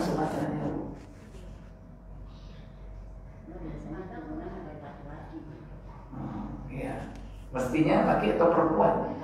Laki. Ya. Karena para nabi itu bapaknya satu, ibunya yang berbeda-beda. Mereka dari keturunan satu bapak ya. Baik.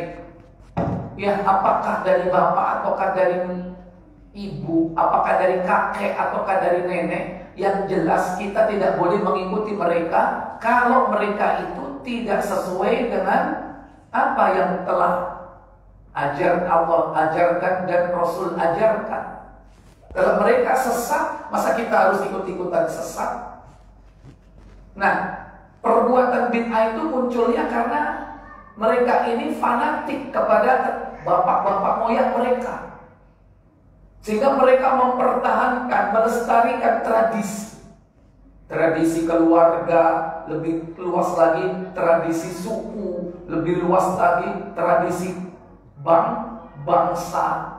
Oh, kita ini bangsa ini, mereka bangsa itu beda, ya kan? Kita ini harus tetap mengingat-ingat nenek moyang. Kenapa? Nenek moyang kita harus selalu kita kenal. Ditaruh itu gambarnya di atas apa? Ah, macam-macam dia taruh di atas kayak kotak itu tempat khusus. Kita harus mengingat nenek moyang ini tradisi nenek moyang kita dari negeri para lelu leluhur. Nah ini istilah-istilah leluhur itu sama dengan maksud nenek moyang. Ini sebabnya muncul bid'ah ini karena ini. Lihat sekarang banyak orang melakukan kesyirikan. Kenapa? Karena melestarikan tradisi nenek nenek moyang. Karena pesan turun temurun dari nenek moyangnya, dia harus melakukan ritual itu. Kalau ritual ini tidak dilaksanakan, nanti akan terjadi apa? Terjadi bala, terjadi bencana. Sehingga ketika terjadi bencana, kadang orang kait-kaitkan dengan apa? Tuh, nenek moyangnya lagi marah. Leluhurnya lagi ma marah karena tidak pernah di tidak pernah dikunjungi atau tidak pernah di diopeni dan sebagainya dikasih ini dan itu. Karena semua itu tipu daya syaitan. Ini. Mereka menentang Allah dan Rasulnya syariat Islam dan mengatakan bal nattabi'u ma alfaina alaihi aba'ana. Bahkan kami akan mengikuti apa yang kami dapati dari nenek, dari bapak-bapak moyang kami. Sekalipun bapak moyang mereka itu tidak mengetahui layak ilun. Ini lebih lebih apa namanya? Lebih keras lagi dari layak lamun, tidak tahu. Layak ilun itu apa? Tidak berpikir. Ya. Sementara bapak-bapak moyang mereka itu layak ilmu tidak berpikir, bukan layak lamun tidak mengetahui. Kalau tidak mengetahui diberitahu mungkin bisa tahu ya. Kalau layak ilmu nggak mau memikirkan, udah diberitahu tapi nggak mikir. Walayak tadun bahkan tidak mendapatkan betul petunjuk. Ikhwatal iman a'azin a'azin a'azzani Allahu wa iyyakum. Kemudian ada di surat yang lain yaitu di dalam surah Al-Ahzab. Surah yang ke-33. Mulai dari ayat yang ke-66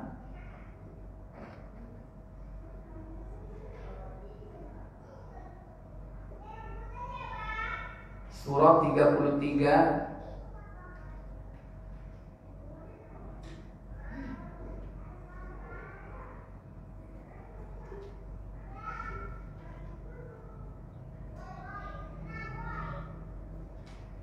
ayat 66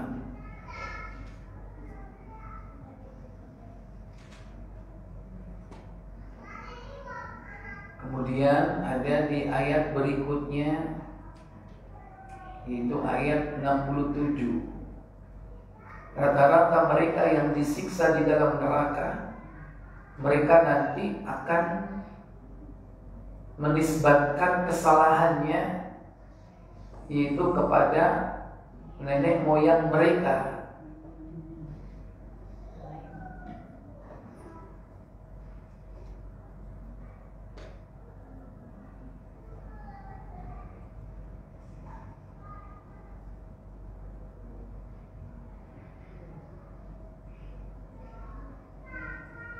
sampai dengan ayat yang ke 68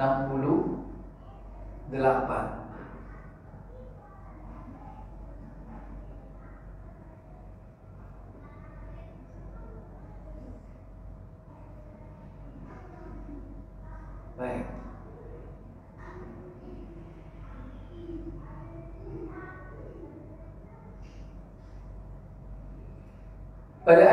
26 Allah Jalla wa'ala berfirman Yawma tuqallabu wujuhuhum fin nari ya laytana ata'na Allah ya laytana ata'na Allah wa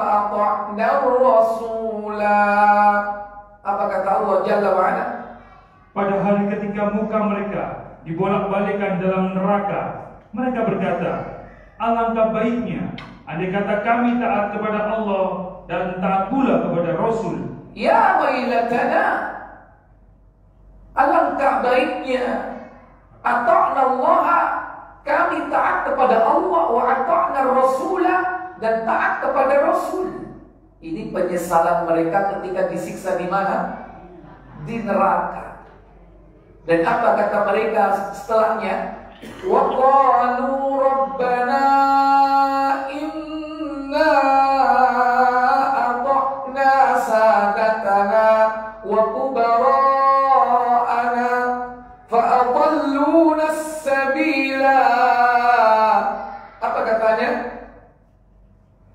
Dan mereka berkata, Ya Rob kami, sesungguhnya kami telah mentaati pemimpin-pemimpin dan pembesar-pembesar kami, lalu mereka menyesatkan kami dari jalan yang benar. Iya.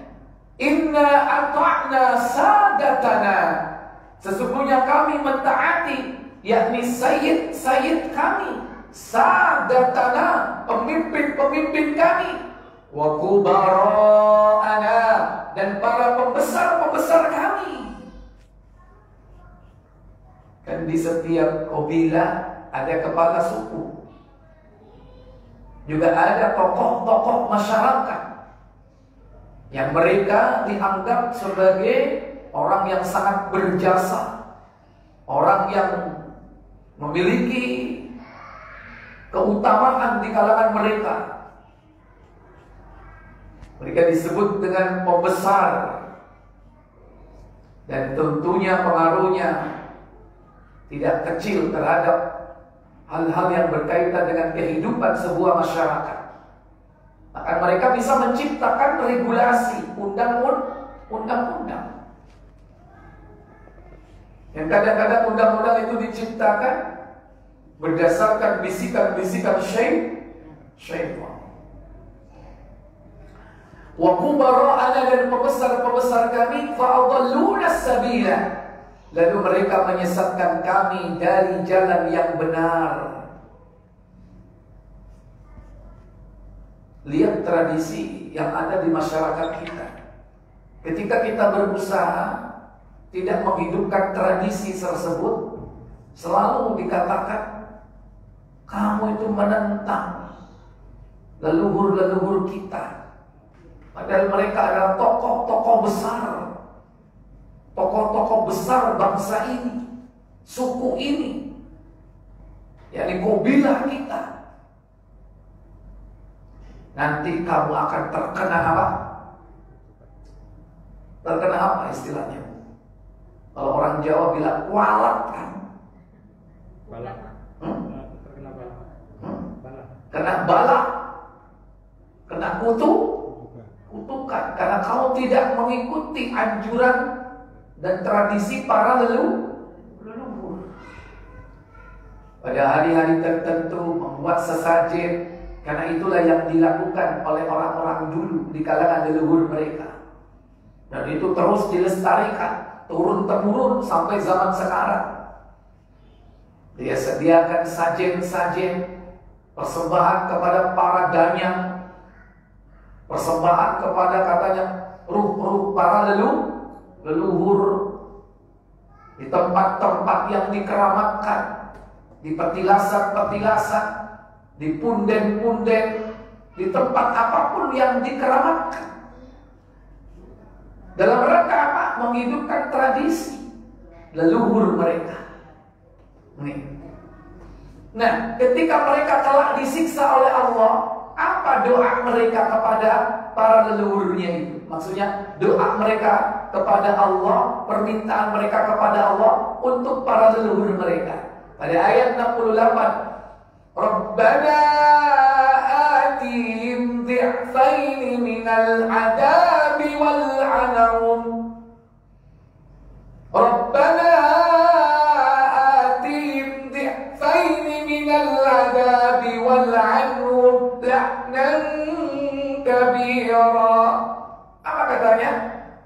Ya Rabb kami, timpakanlah kepada mereka azab dua kali lipat dan kutuklah mereka dengan kutukan yang benar, yang besar.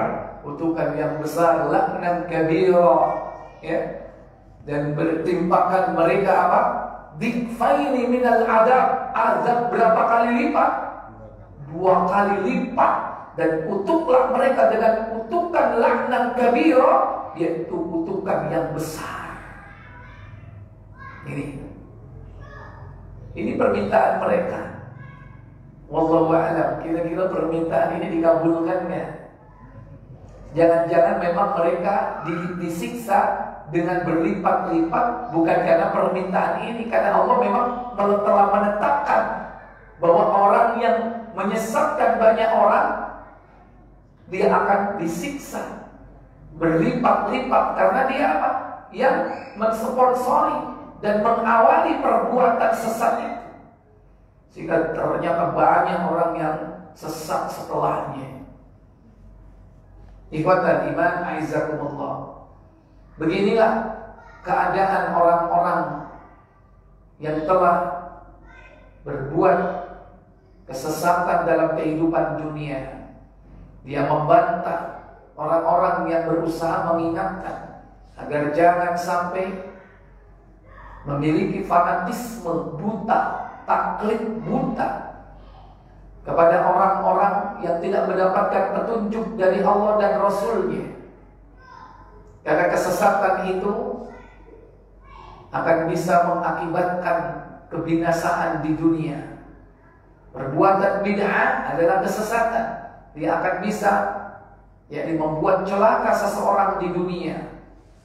Dan tentunya lebih dahsyat lagi yaitu adanya siksa di neraka. Maka Jangan atas nama mempertahankan dan memelihara tradisi dan budaya leluhur yang ternyata itu menyimpang dari syariat Allah dan Rasulnya lantas kita termasuk orang yang binasa sebagaimana yang telah dijelaskan dalam ayat ini mendapatkan adab dan laknat dari Allah Jalla wa'ala baik para ibu Para bapak saudara sekalian yang dirahmati Allah tabaraka wa taala. Mungkin ini barangkali untuk materi pada pertemuan kali ini saya berikan kesempatan lebih banyak untuk tanya jawab ya. Silakan karena ini perlu dipertajam lagi dengan kasus-kasus yang real yang ada di masyarakat kita. Supaya apa yang telah kita pelajari yakni uh, berapa poin tadi ini kita pelajari? Iya. Ada tiga poin ya. Benar? Iya. ada tiga poin yang kita pelajari sebab-sebab munculnya bid'ah yaitu yang ketiga yaitu apa mengikuti syubhat kemudian mengikuti rasio dan perasaan, kemudian fanatisme terhadap atau kepada nenek-nenek moyang atau ya bapak moyangnya atau kepada golongannya. Allahu a'lam. Ya, silakan kalau ada pertanyaan. Itu silakan Bu, langsung Bu. Assalamualaikum warahmatullahi wabarakatuh. Waalaikumsalam. Saya mau nanya nih Ustaz. Iya kita kan disesatkan oleh nenek nenek moyang kita yang tidak mempunyai ilmu, ya kan? Ya. Hmm. Nah, setelah semakin ke sana kan keturunan kita semakin baik, apalagi zaman sekarang itu kan banyak uh, anak-anak belajar hafiz, hafiz Al-Quran segala macam yang mondok itu ya Ustaz. Iya, betul. Nah, berarti ilmu keagamannya lebih baik lagi, lebih baik lagi daripada nenek-nenek kita, nenek moyang kita itu. Apakah ilmu-ilmu kita sekarang ini bisa mengangkat nenek-nenek gitu keturunan saya yang lebih dahulu gitu untuk mengangkat mereka masuk ke dalam surga karena ilmu kita yang sekarang kita pelajari dari cucu-cucu kita gitu Ustaz. Itu aja yang saya tanyakan. Iya. Baik. Doa keturunan kepada orang-orang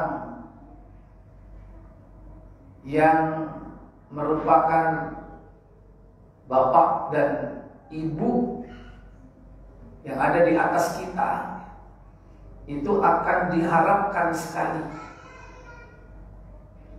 untuk mendapatkan pertama yaitu keringanan dari siksa akibat dosa yang telah mereka lakukan saat hidup di dunia. Dan perlu dipahami doa ini pasti akan nyampe kepada Allah tabaraka wa taala selama tidak ada hijab penghalang. Dan ahli kubur yang sudah mati di kalangan orang-orang tua kita itu akan bermanfaat sekali.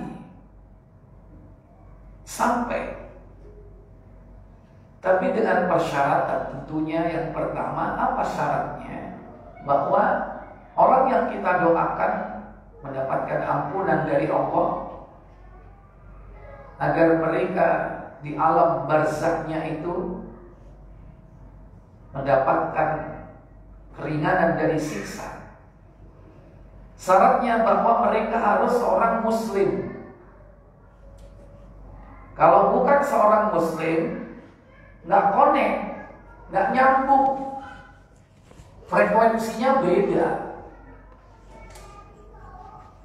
Bahkan kalau kita punya orang tua yang meninggal sementara mereka telah melakukan tradisi kesyirikan dan meninggal dalam kesyirikan itu, Berarti mereka berbeda keimanan dan keyakinan. Dengan kata yang sederhana, mereka adalah kafir. Maka kita tidak boleh mendoakan mereka. Kita tidak boleh mendoakan orang yang non-muslim. Sekalipun dia adalah bapak ibu kita. Didasarkan atas riwayat dalam Sahih Muslim di nomor 2924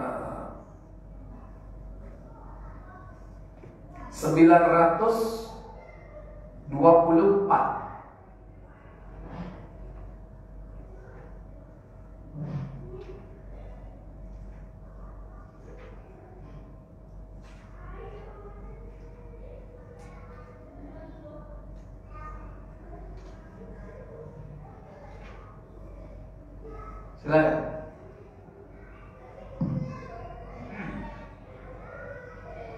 Dari Abu Hurairah radhiyallahu an, ia berkata, Apa katanya? pada suatu ketika Rasulullah SAW ziarah ke kubur ibunya, Kemudian lalu beliau menangis. beliau menangis. Maka Maka menangis pula orang sekelilingnya. menangis pula para sahabat di sekelilingnya. Apa pasalnya? Kemudian beliau bersabda, Apa sabda beliau? Aku mohon izin kepada Robku untuk memintakan ampun bagi ibuku, tetapi tidak diperkenankannya. Tetapi tidak diperkenankannya. Saya tanya, Rasulullah mau berdoa. Rasul berdoa itu meminta kepada siapa? Hah? Allah. Satu. Rasul minta kepada Allah, bukan kepada selain Allah. Yang kedua, doa Rasul itu mustajab atau tidak?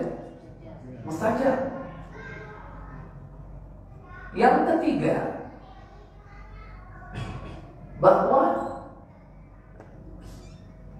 doa yang dipanjatkan Rasulullah kepada Allah itu untuk kebaikan orang Kebaikan orang lainnya. Khususnya kebaikan siapa? Ibunya. Jadi ada tiga yakni seakan-akan ini alasan yang kuat kenapa kok ditolak Lalu Nabi itu minta bukan kepada selain Allah, mintanya kepada Allah kan. Yang kedua, dan doa Nabi itu tidak ada penghalang, mustajab. Karena tidak ada mungkin terkontaminasi dengan makanan yang haram. Karena itu merupakan penghalang doa. Rasul nggak mungkin makan makanan yang haram. Juga mungkin barangkali Rasul tidak memutus silaturahmi. Itu sebagai penghalang dikabulkannya doa karena putus silaturahmi. Semua itu nggak ada, nggak ada penghalang. Yang ketiga, saya yakin seyakin yakinnya apa yang dimintakan Rasul ini bermanfaat kepada ibundanya. Pertanyaannya kenapa ditolak oleh Allah? Kok seakan-akan Allah ini kok jahat benar seakan-akan begitu masa doa itu kan baik kenapa kok ditolak gitu loh ya kan? Kenapa? Ternyata hadis ini memberikan faidah kepada kita tentang sebuah prinsip bahwa kita ini tidak boleh mendoakan orang yang tidak seakidah dengan kita. Tidak seakidah dengan kita, kita nggak boleh mendoakan. Ini prinsip dalam Islam begitu.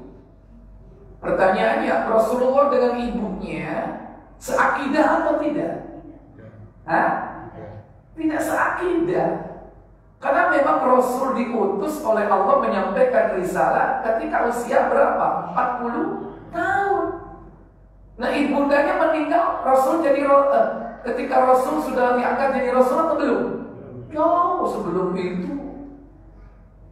Berarti nggak sama akidahnya. Ya, maka kita tidak boleh mendoakan saling mendoakan kalau berbeda akidah. Yang satu Muslim, yang satu Nasrani, boleh nggak mendoakan Muslim kepada Nasrani? Nggak boleh. Bisa nggak seorang Nasrani mendoakan orang Islam yang meninggal? Nggak ngefek. Orang kafir datang ke kuburannya orang Islam berdoa di situ, ngefek nggak doanya? Allah nggak akan kabulkan doa mereka karena mereka apa? Kafir. Karena Allah berfirman, "Wa idza sa'alaka 'ibadi 'anni fa inni qarib." Surah Al-Baqarah ayat 186.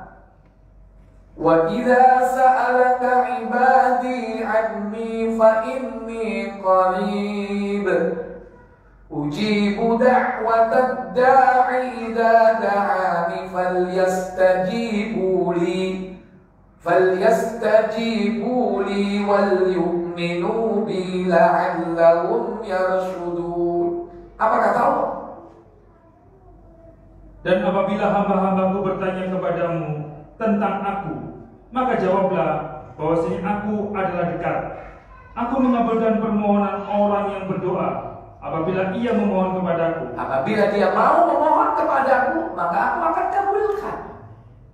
Tapi ada syaratnya. Apa itu? Maka hendaklah mereka itu memenuhi segala perintahku. Maka mereka hendaklah yang berdoa meminta kepadaku itu memenuhi semua perintahku. Pertanyaannya, orang kafir memenuhi perintah Allah nggak? Malah dia menyembah kepada selain Allah. Padahal Allah perintahkan La ta'budu illallah. Janganlah kau menyembah kecuali kepada Allah. Tapi mereka menyembah siapa? Mereka menyembah bukan kepada Allah. Berarti syaratnya terpenuhi nggak? Padahal syaratnya supaya doa dikabulkan, falyastajibu li. Hendaklah mereka memenuhi perintahku. Orang kafir semua pasti tidak memenuhi perintah Allah. Maka semua orang kafir berkumpul datang ke kubur kita, mendoakan kita, ngefek nggak? Nggak ngefek, nggak ngaruh, nggak ada dampak kebaikannya. Adapun sebaliknya kita orang Islam, yakni mendoakan orang kafir, boleh atau tidak? Gak boleh. Kita ucapkan salam aja gak boleh. Kalau mereka salam Assalamualaikum Kita jawabnya bukan Waalaikumsalam Karena itu doa cukup Waalaikum Assalamualaikum warahmatullah. Dia ucapkan salam ke kita, padahal dia kafir. Salam sejahtera buat kalian. Kita jawab, Alaikum, lu juga. Lu juga apa? Lu juga manusia. Lu juga apa? Lu juga makan nasi. Sama seperti gua. Alaikum itu berarti tidak mengandung doa kecuali dilanjutkan Alaikumussalam Makanya kalau sesama muslim, Assalamualaikum Waalaikumsalam. Salamnya diikutkan karena assalam adalah doa. Assalam salah satu di antara asmaul hus husna, nama-nama Allah yang baik. Kalau pengen lebih lengkap, lebih bagus, Waalaikumsalam warahmatullah. Lebih lengkap lagi, tambah wabarakatuh. Baru itu doa kepada sesama muslim. Kalau cuma alaikum itu bukan doa. Sekedar menjawab. Ya, jadi itu Bu pertanyaan Ibu, kalau memang nenek moyang kita muslim, cuman mereka dulu gak berilmu, ya kan? Silakan didoakan. Mintakan mereka ampunan. Allahumma gfir lahu warhamhu atau Allahumma gfir laha warhamha wa'afihi wa'fu anha. Doakan mereka. Tapi kalau ternyata akidahnya berbeda, gak sama akidahnya, maka tidak perlu didoakan. Ya. Bahkan mendoakan yang menyelisih tuntunan sunnah. Baik. Pak, boleh satu lagi Pak Ustaz? Boleh. Ini Pak Ustaz, kan ada, ah, ini yang menjadi menu-menu saya Pak Ustaz ya ada air mata kita yang membawa ke surga. Ada air mata kita yang membawa ke neraka. Ada di, ya, di saudara saya ini ada yang murtad. Pada saat dia melam ada acara lamaran, ada saya murtad gitu deh. Pokoknya saya ada saya ngadain lamaran anaknya. Terus manusia kan kalau terharu biasa ya Ustadz ya. Tapi saya terharu terhadap adik saya itu. Tapi adik saya murtad Apakah air mata saya itu akan membawa saya ke neraka Pak Ustaz? Ya. Terharu itu saya. Ibu punya adik laki atau perempuan? Perempuan. Perempuan nikah dengan orang kafir? Iya. Loh, kapan itu Bu? Udah lama Ustaz. Oh, udah lama, tapi kan baru kemarin itu. Saya enggak soalnya acaranya ini baru kemarin Ustaz. Saya kok saya setelah saya menonton itu, ya Allah saya sampai mengorbankan mata ya. Padahal adik saya itu kafir ya apakah air mata saya ini nanti akan membawa saya ke neraka atau tidak? Soalnya air mata itu ada membawa ke neraka ke, ke surga juga. Itu yang saya jadi pikiran Ustaz. Kalau mohon jawabnya Ustaz. Ya, jadi keluarnya air mata karena sebab kesedihan, terharu, bahagia, ya, kadang juga menangis, itu tergantung dia menangisnya, mengeluarkan air matanya karena siapa?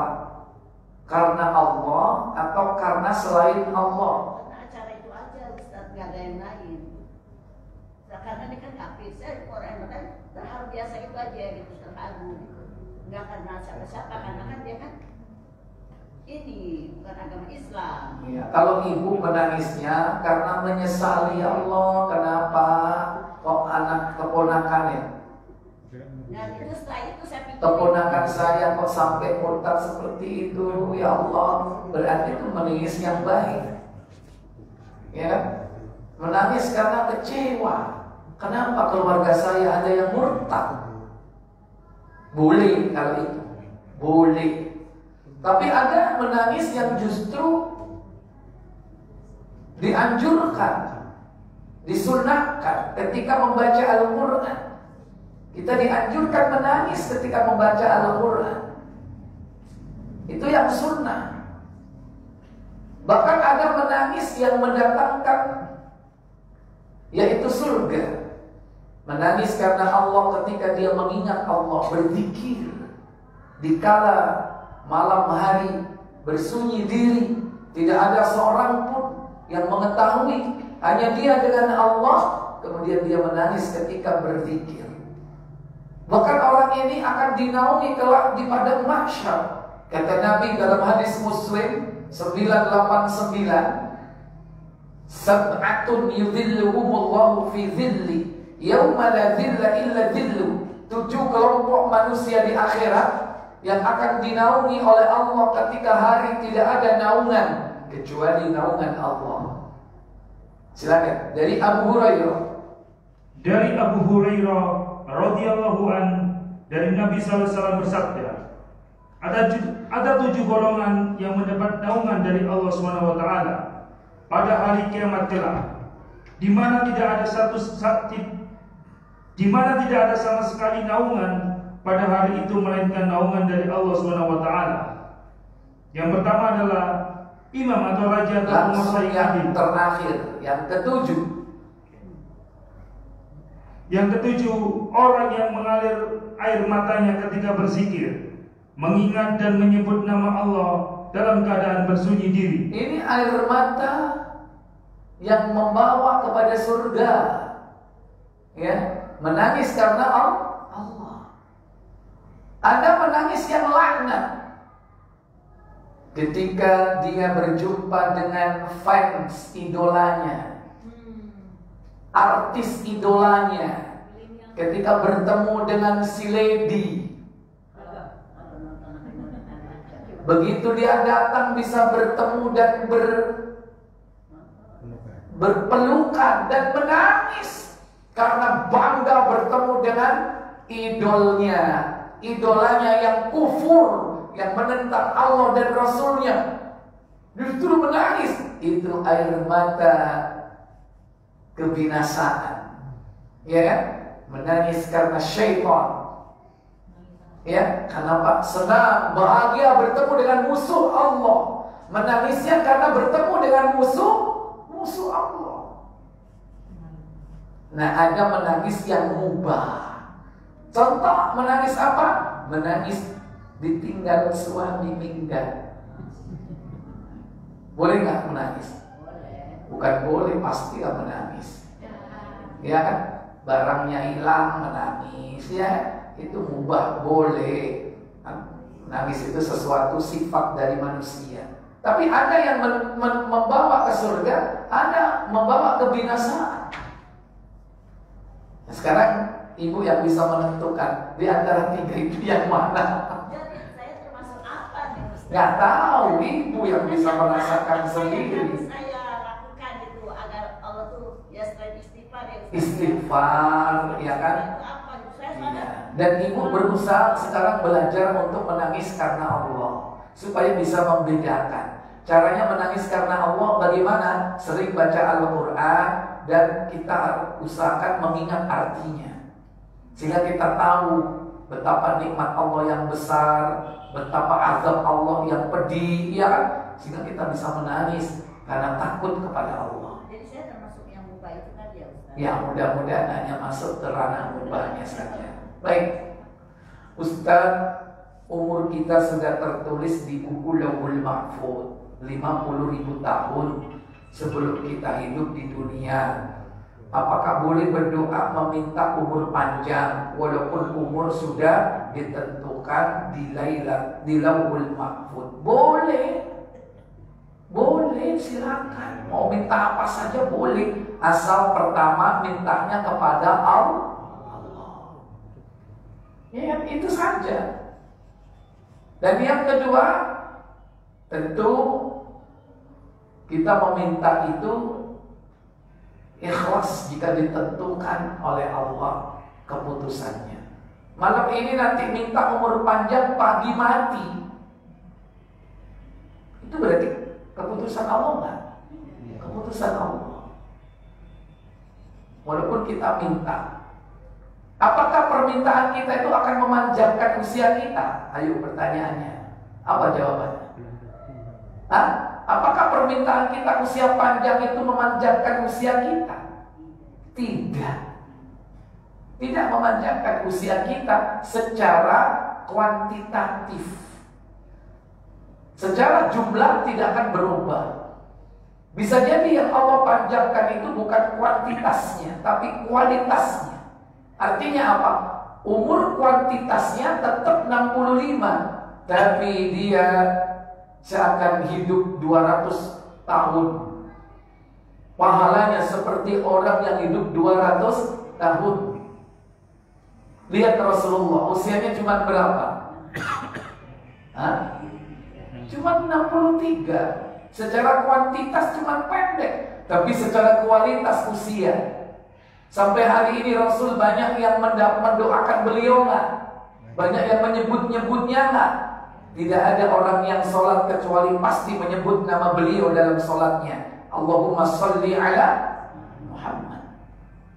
Itu berarti menandakan usianya bagaimana? Usianya panjang. Usia yang panjang itu tandanya dia masih dikenang sampai kapan pun. Orang yang sudah mati ribuan tahun, dia masih disebut-sebut. Itu usianya panjang. Disampaikan kebaikan-kebaikannya. Oh itu loh orang luar biasa. Siapa itu? Nabi Hud. Nabi pantas ya kan? Makanya seluruh para nabi disebut-sebut sampai hari ini. Ya, diberikan usia panjang. Kebaikannya selalu dikenang, ajarannya diikuti. Itu tandanya usianya panjang sampai hari ini. Ribuan tahun berarti. Tapi ada kalanya orang begitu mati selesai. Tidak ada orang yang mengetahuinya. Apalagi mengingatnya. Padahal dulu ketika di dunia setiap dia buka atau bikin acara, semua orang datang. Ya kan? Ada Wah senang kalau orang ini datang. Kenapa? Berduit.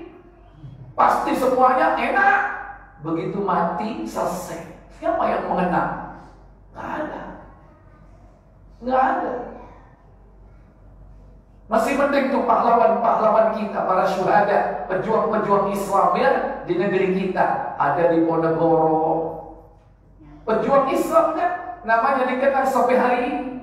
Karena ikhlas dia berjuang mungkin demi agamanya. Bukan demi bangsa negara, karena negara Indonesia belum ada. Hah? Di Ponegoro berjuang untuk negara apa? Belum, belum berdiri negara Indonesia. Berjuang untuk agama. Karena Belanda datang ke sini membawa gold, uh, membawa misi gold, gospel, glory. Ya. Di samping mereka mencari rempah-rempah kekayaan alam, mereka mencari kejayaan, yaitu kolonialisme dan imperialisme. Semakin banyak koloninya, semakin bangga di bangsa-bangsa Eropa, kejayaan, glory, dan juga gospel menyebarkan agama. Agama apa yang disebarkan? Nasrani, Kristen, Katolik.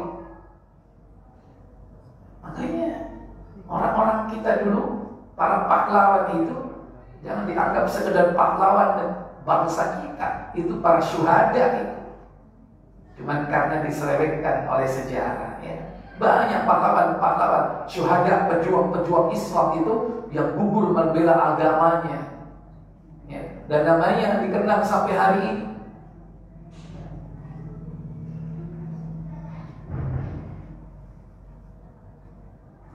Ustaz, apakah berdosa kita mengundang orang makan karena hari ulang tahun kita dan tidak ada tiup lilin? Ya sudah, undang makan saja tanpa ada niat dalam hati ini perayaan ulang tahun. Pertama, harus belajar mengolah, memanage hati. Jangan terbersit dalam hati kita ya bahwa saya mengundang orang ini karena ini hari kelahiran kita berarti itu sama dengan merayakan ya masalah hati. Yang kedua, jangan ditempatkan harinya. Jangan ditempatkan hari harinya. Entah mungkin sebelumnya atau sesudahnya undang orang makan karena bersyukur kepada Allah, bukan bersyukur karena dikasih usia panjang, tambah pendek, tambah berkurang. Ya, di situ letak kuncinya. Di hati jangan ada keyakinan itikot macam-macam. Ya. Yang kedua jangan ditempatkan harinya. Dan yang ketiga jangan mengikuti tradisi mereka. Gak ada tiup lilin, tapi ada apa? Mercon. ya, ya. Kalau itu tradisi jahiliyah, sama saja. Ustadz apa hukumnya berdiri ketika membaca sholawat Nabi dan disemprot minyak wangi Ini tradisi dari mana? Baca solawat gak harus berdiri. Baca solawat Nabi di mana pun dan kapan pun boleh. Ya kan? Bukan pada acara-acara tertentu. Apalagi sampai disemprot minyak wangi. Ini mesti ada acara tertentu ini. Pertanyaannya ada nggak contohnya dari Nabi? Zaman Nabi sudah ada minyak wangi nggak? Ada, tapi pernah nggak ada acara baca sholawat pers nyemprot minyak wangi? Hah? Orang sekarang aneh-aneh, bikin-bikin, ya. Kalau mau semprot-semprot minyak wangi ya semprot aja, nggak perlu dikaitkan dengan sholat. Sholawat, panggil dia eh sini, sholat-sholat selesai. Ya, nggak harus ditempatkan dengan ritual-ritual baca-baca sholawat. Dalilnya mana? Ustadz apakah boleh sholawat eh, sholat terawih di masjid yang jamaahnya bersikeras melakukan sejumlah bid'ah? Apa dulu bid'ahnya? Ya kan? Kalau itu dianggap bid'ah ternyata bukan bid'ah kita yang salah. Ya, kalau ternyata di situ ada bid'ah, sementara kita pengen sholat di tempat itu, ya sholat aja, jangan ikut bid'ahnya. Ketika bid'ah dilakukan jangan ikut, diam aja. Iya kan? Bukan berarti kalau di situ harus ikut, enggak. Kita punya kekuatan hati untuk diam. Kamu yakin kepada amal itu silakan. Kalau buat nggak ada karena nggak ada tuntunan, selesai. Jangan apa berpisah dengan masjidnya, tapi berpisahlah dengan amalan bid'ahnya. Ustaz, apakah arti dari sebutan dan ungkapan Karamallahu wajah bagi Ali bin Abi Thalib? Ada memang sebagian orang menjuluki Ali dengan sebutan Karamallahu wajah. Artinya apa? Allah memuliakan wajahnya. Kemudian ada cerita-cerita yang sifatnya hulu berlebih-lebihan. Kenapa? Ali itu disebut dengan Karamallahu wajah karena Ali bin Abi Thalib tidak pernah melihat kemaluannya seumur hidup. Wah, aneh. Ya, apa mungkin orang nggak pernah lihat kemaluannya? Ya kan? Ya seandainya, seandainya ada orang seperti itu, bukan berarti kita lantas kemudian menyematkan gelar-gelar tertentu tanpa dasar dalil. Allah memuliakan wajahnya. Tentu harus ada dalilnya. Yang benar itu seluruh sahabat ketika kita menyebut namanya ucapkan radhiyallahu anhu. Semoga Allah meridhoinya. Ya, itu doa. Semoga Allah meridhoinya, bukan Allah memuliakan wajahnya. Nah itu harus ada dalil. Dalilnya dari mana? Nah ini tentu mungkin barangkali berasal dari orang-orang yang bersikap hulu kepada Ali bin Abi Thalib. Di antaranya mungkin yang hulu kepada Ali bin Abi Thalib yakni kelompok Syiah. Wallahu a'lam. Ustaz apa hukumnya membaca Al-Quran berjamaah dan dihadiahkan untuk yang sudah meninggal? Emang hadiahnya dibungkus pakai apa? Ya. Yang pertama membaca Al-Quran berjamaah. Gimana teknisnya baca Quran berjamaah? Ya. Kalau membaca Al-Quran bersama-sama dengan satu suara itu yang tidak ada tuntunan. Baca Quran bersama-sama dengan sama-sama baca Al-Quran beda nggak? sama-sama baca Al-Quran dengan baca Al-Quran bersama-sama beda atau enggak? Beda. Kalau baca Al-Quran bersama-sama itu berarti berjamaah dengan satu suara. Nah itu enggak ada tuntunan.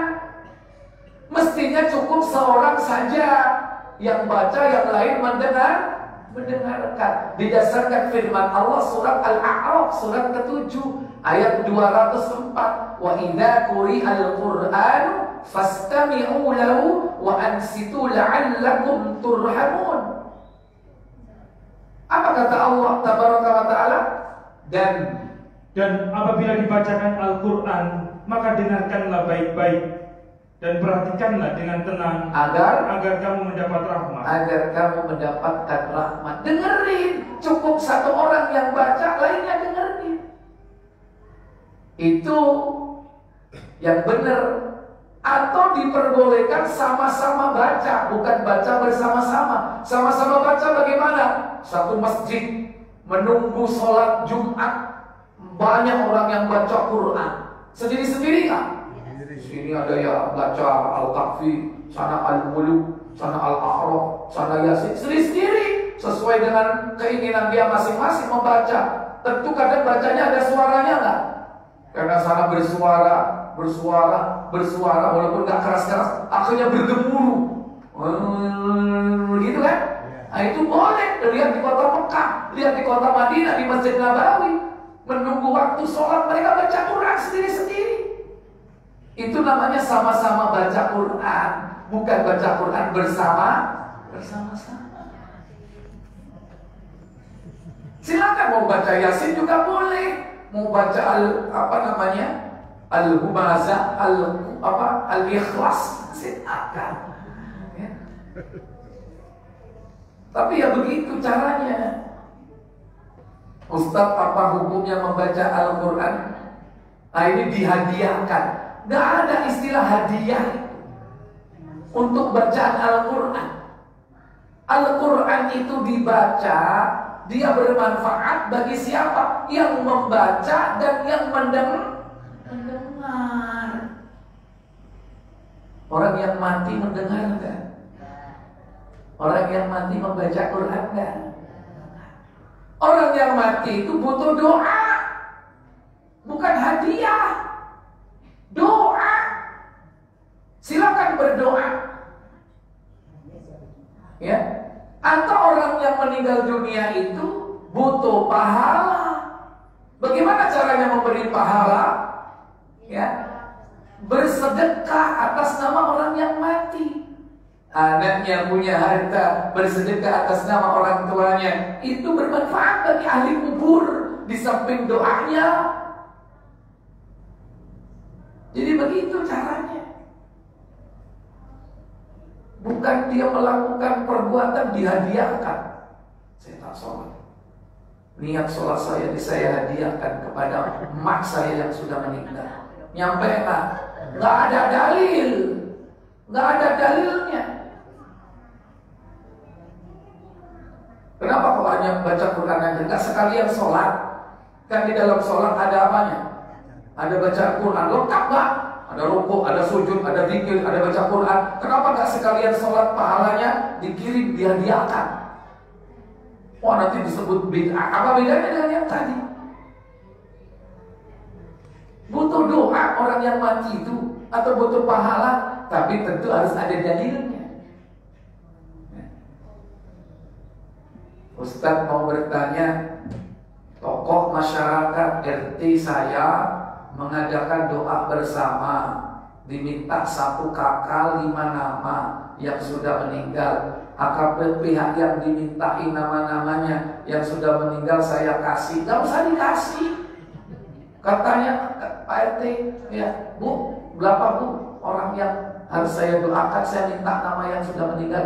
Enggak Pak saya sudah kirim sendiri tiap hari berdoa untuk mereka. Hebat gak? Hebat gak? Gak nunggu Pak RT datang, Pak RT datang ke sini setahun sekali. Buat tiap hari mendoain ahli kubur. Tiap hari kan? Walaupun tidak langsung disebut namanya. Allahumma gfir lahu, Allahumma gfir li wali walidai. Ya warhamhuma kama rabbayani shaghira. Kena semua itu bapak ibunya ke atas. Bukan hanya bapak ibu kita ke atas kena semua. Ustaz apakah boleh ketika ke acara pernikahan kita menjamak sholat? Boleh.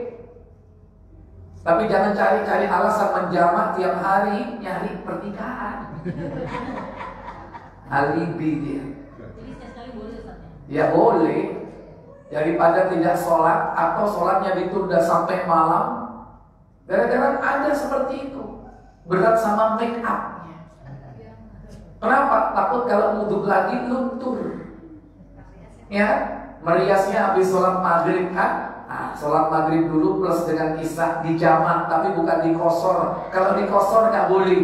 Kalau di jamak masih boleh. Takut karena dia repot, nanti lupa sholat isyaknya sampai kemalaman capek dia tidur nggak sholat isya boleh dijamak maghrib dengan isya jamak takdim boleh. Tapi tidak boleh kosor. Kosor itu diringkas. Yang empat jadi du. Nah itu khusus untuk safar perjalanan perjalanan. Ini nggak habis habis pertanyaan ini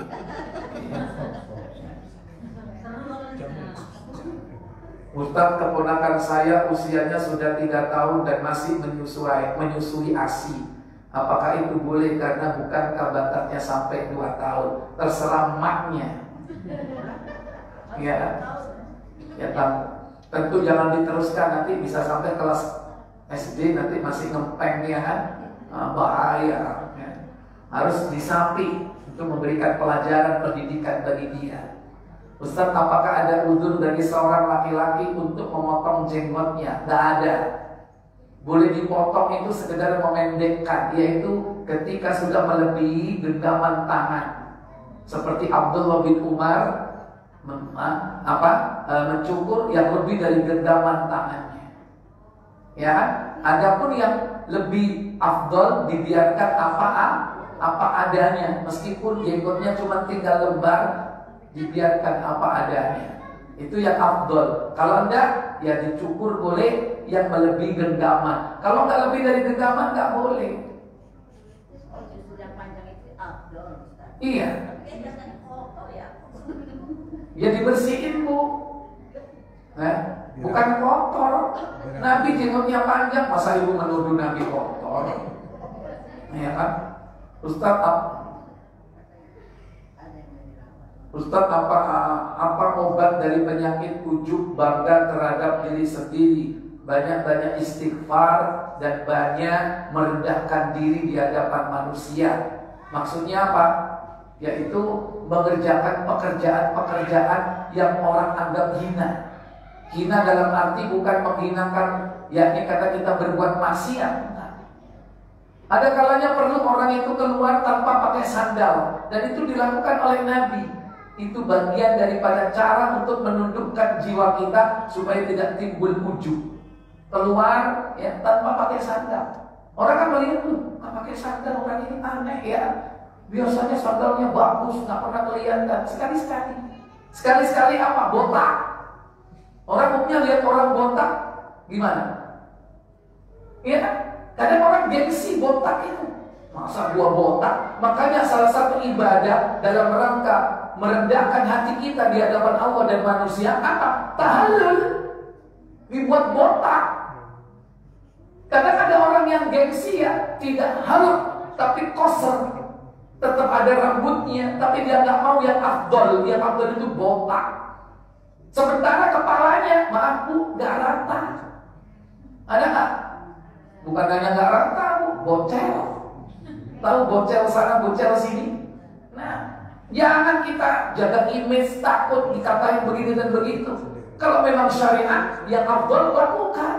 Dalam rangka apa? Menundukkan jiwa kita. Salah satunya yaitu apa? Sikap oh, ujub. Kalau kita ada rambutnya kan bangga kan tiap hari. Ya kan gitu. Coba ketika gak ada rambutnya gini-gini. Enggak.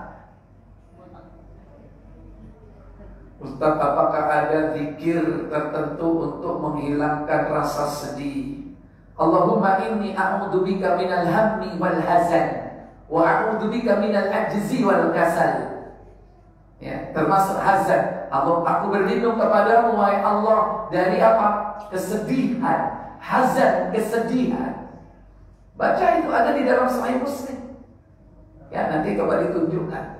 Ya karena waktunya mepet Ustaz, apakah berkahnya air zam-zam masih ada apabila ia tercampuri oleh air putih biasa? Ya tentu berkahnya berkurang. Iya kan? Berkahnya berkurang. Sama lah ibu susu. Susu satu gelas diminum sendiri. Dengan susu segini dicampur satu ember. Rasanya beda kan? Khasiatnya beda apa sama? Beda. Zam-zam juga begitu. Beda khasiatnya. Kalau murni semua segelas zam-zam daripada zam-zam segini dimasukin ke sumur. Ya, lantas kemudian sumurnya dianggap ini udah zam-zam ini kenapa? Saya udah kasih zam-zam segini semua jadi zam-zam. Emangnya dari mana? Ada rumus seperti itu? Ya, nggak cocok sama rumus buat obat gitu ya. Udah 12 pertanyaan. Ya, baik, saya pikir cukup sampai di sini. Mudah-mudahan bermanfaat untuk kita semua. Ya. Semoga kita dihindarkan dari amalan-amalan bid'ah dan sebab-sebab yang dapat menimbulkan yakni perbuatan bid'ah. Kita tutup kafarat majelis subhanakallahumma wa bihamdik asyhadu an la ilaha illa anta astaghfiruka wa atubu ilaik. Wassalamualaikum warahmatullahi wabarakatuh.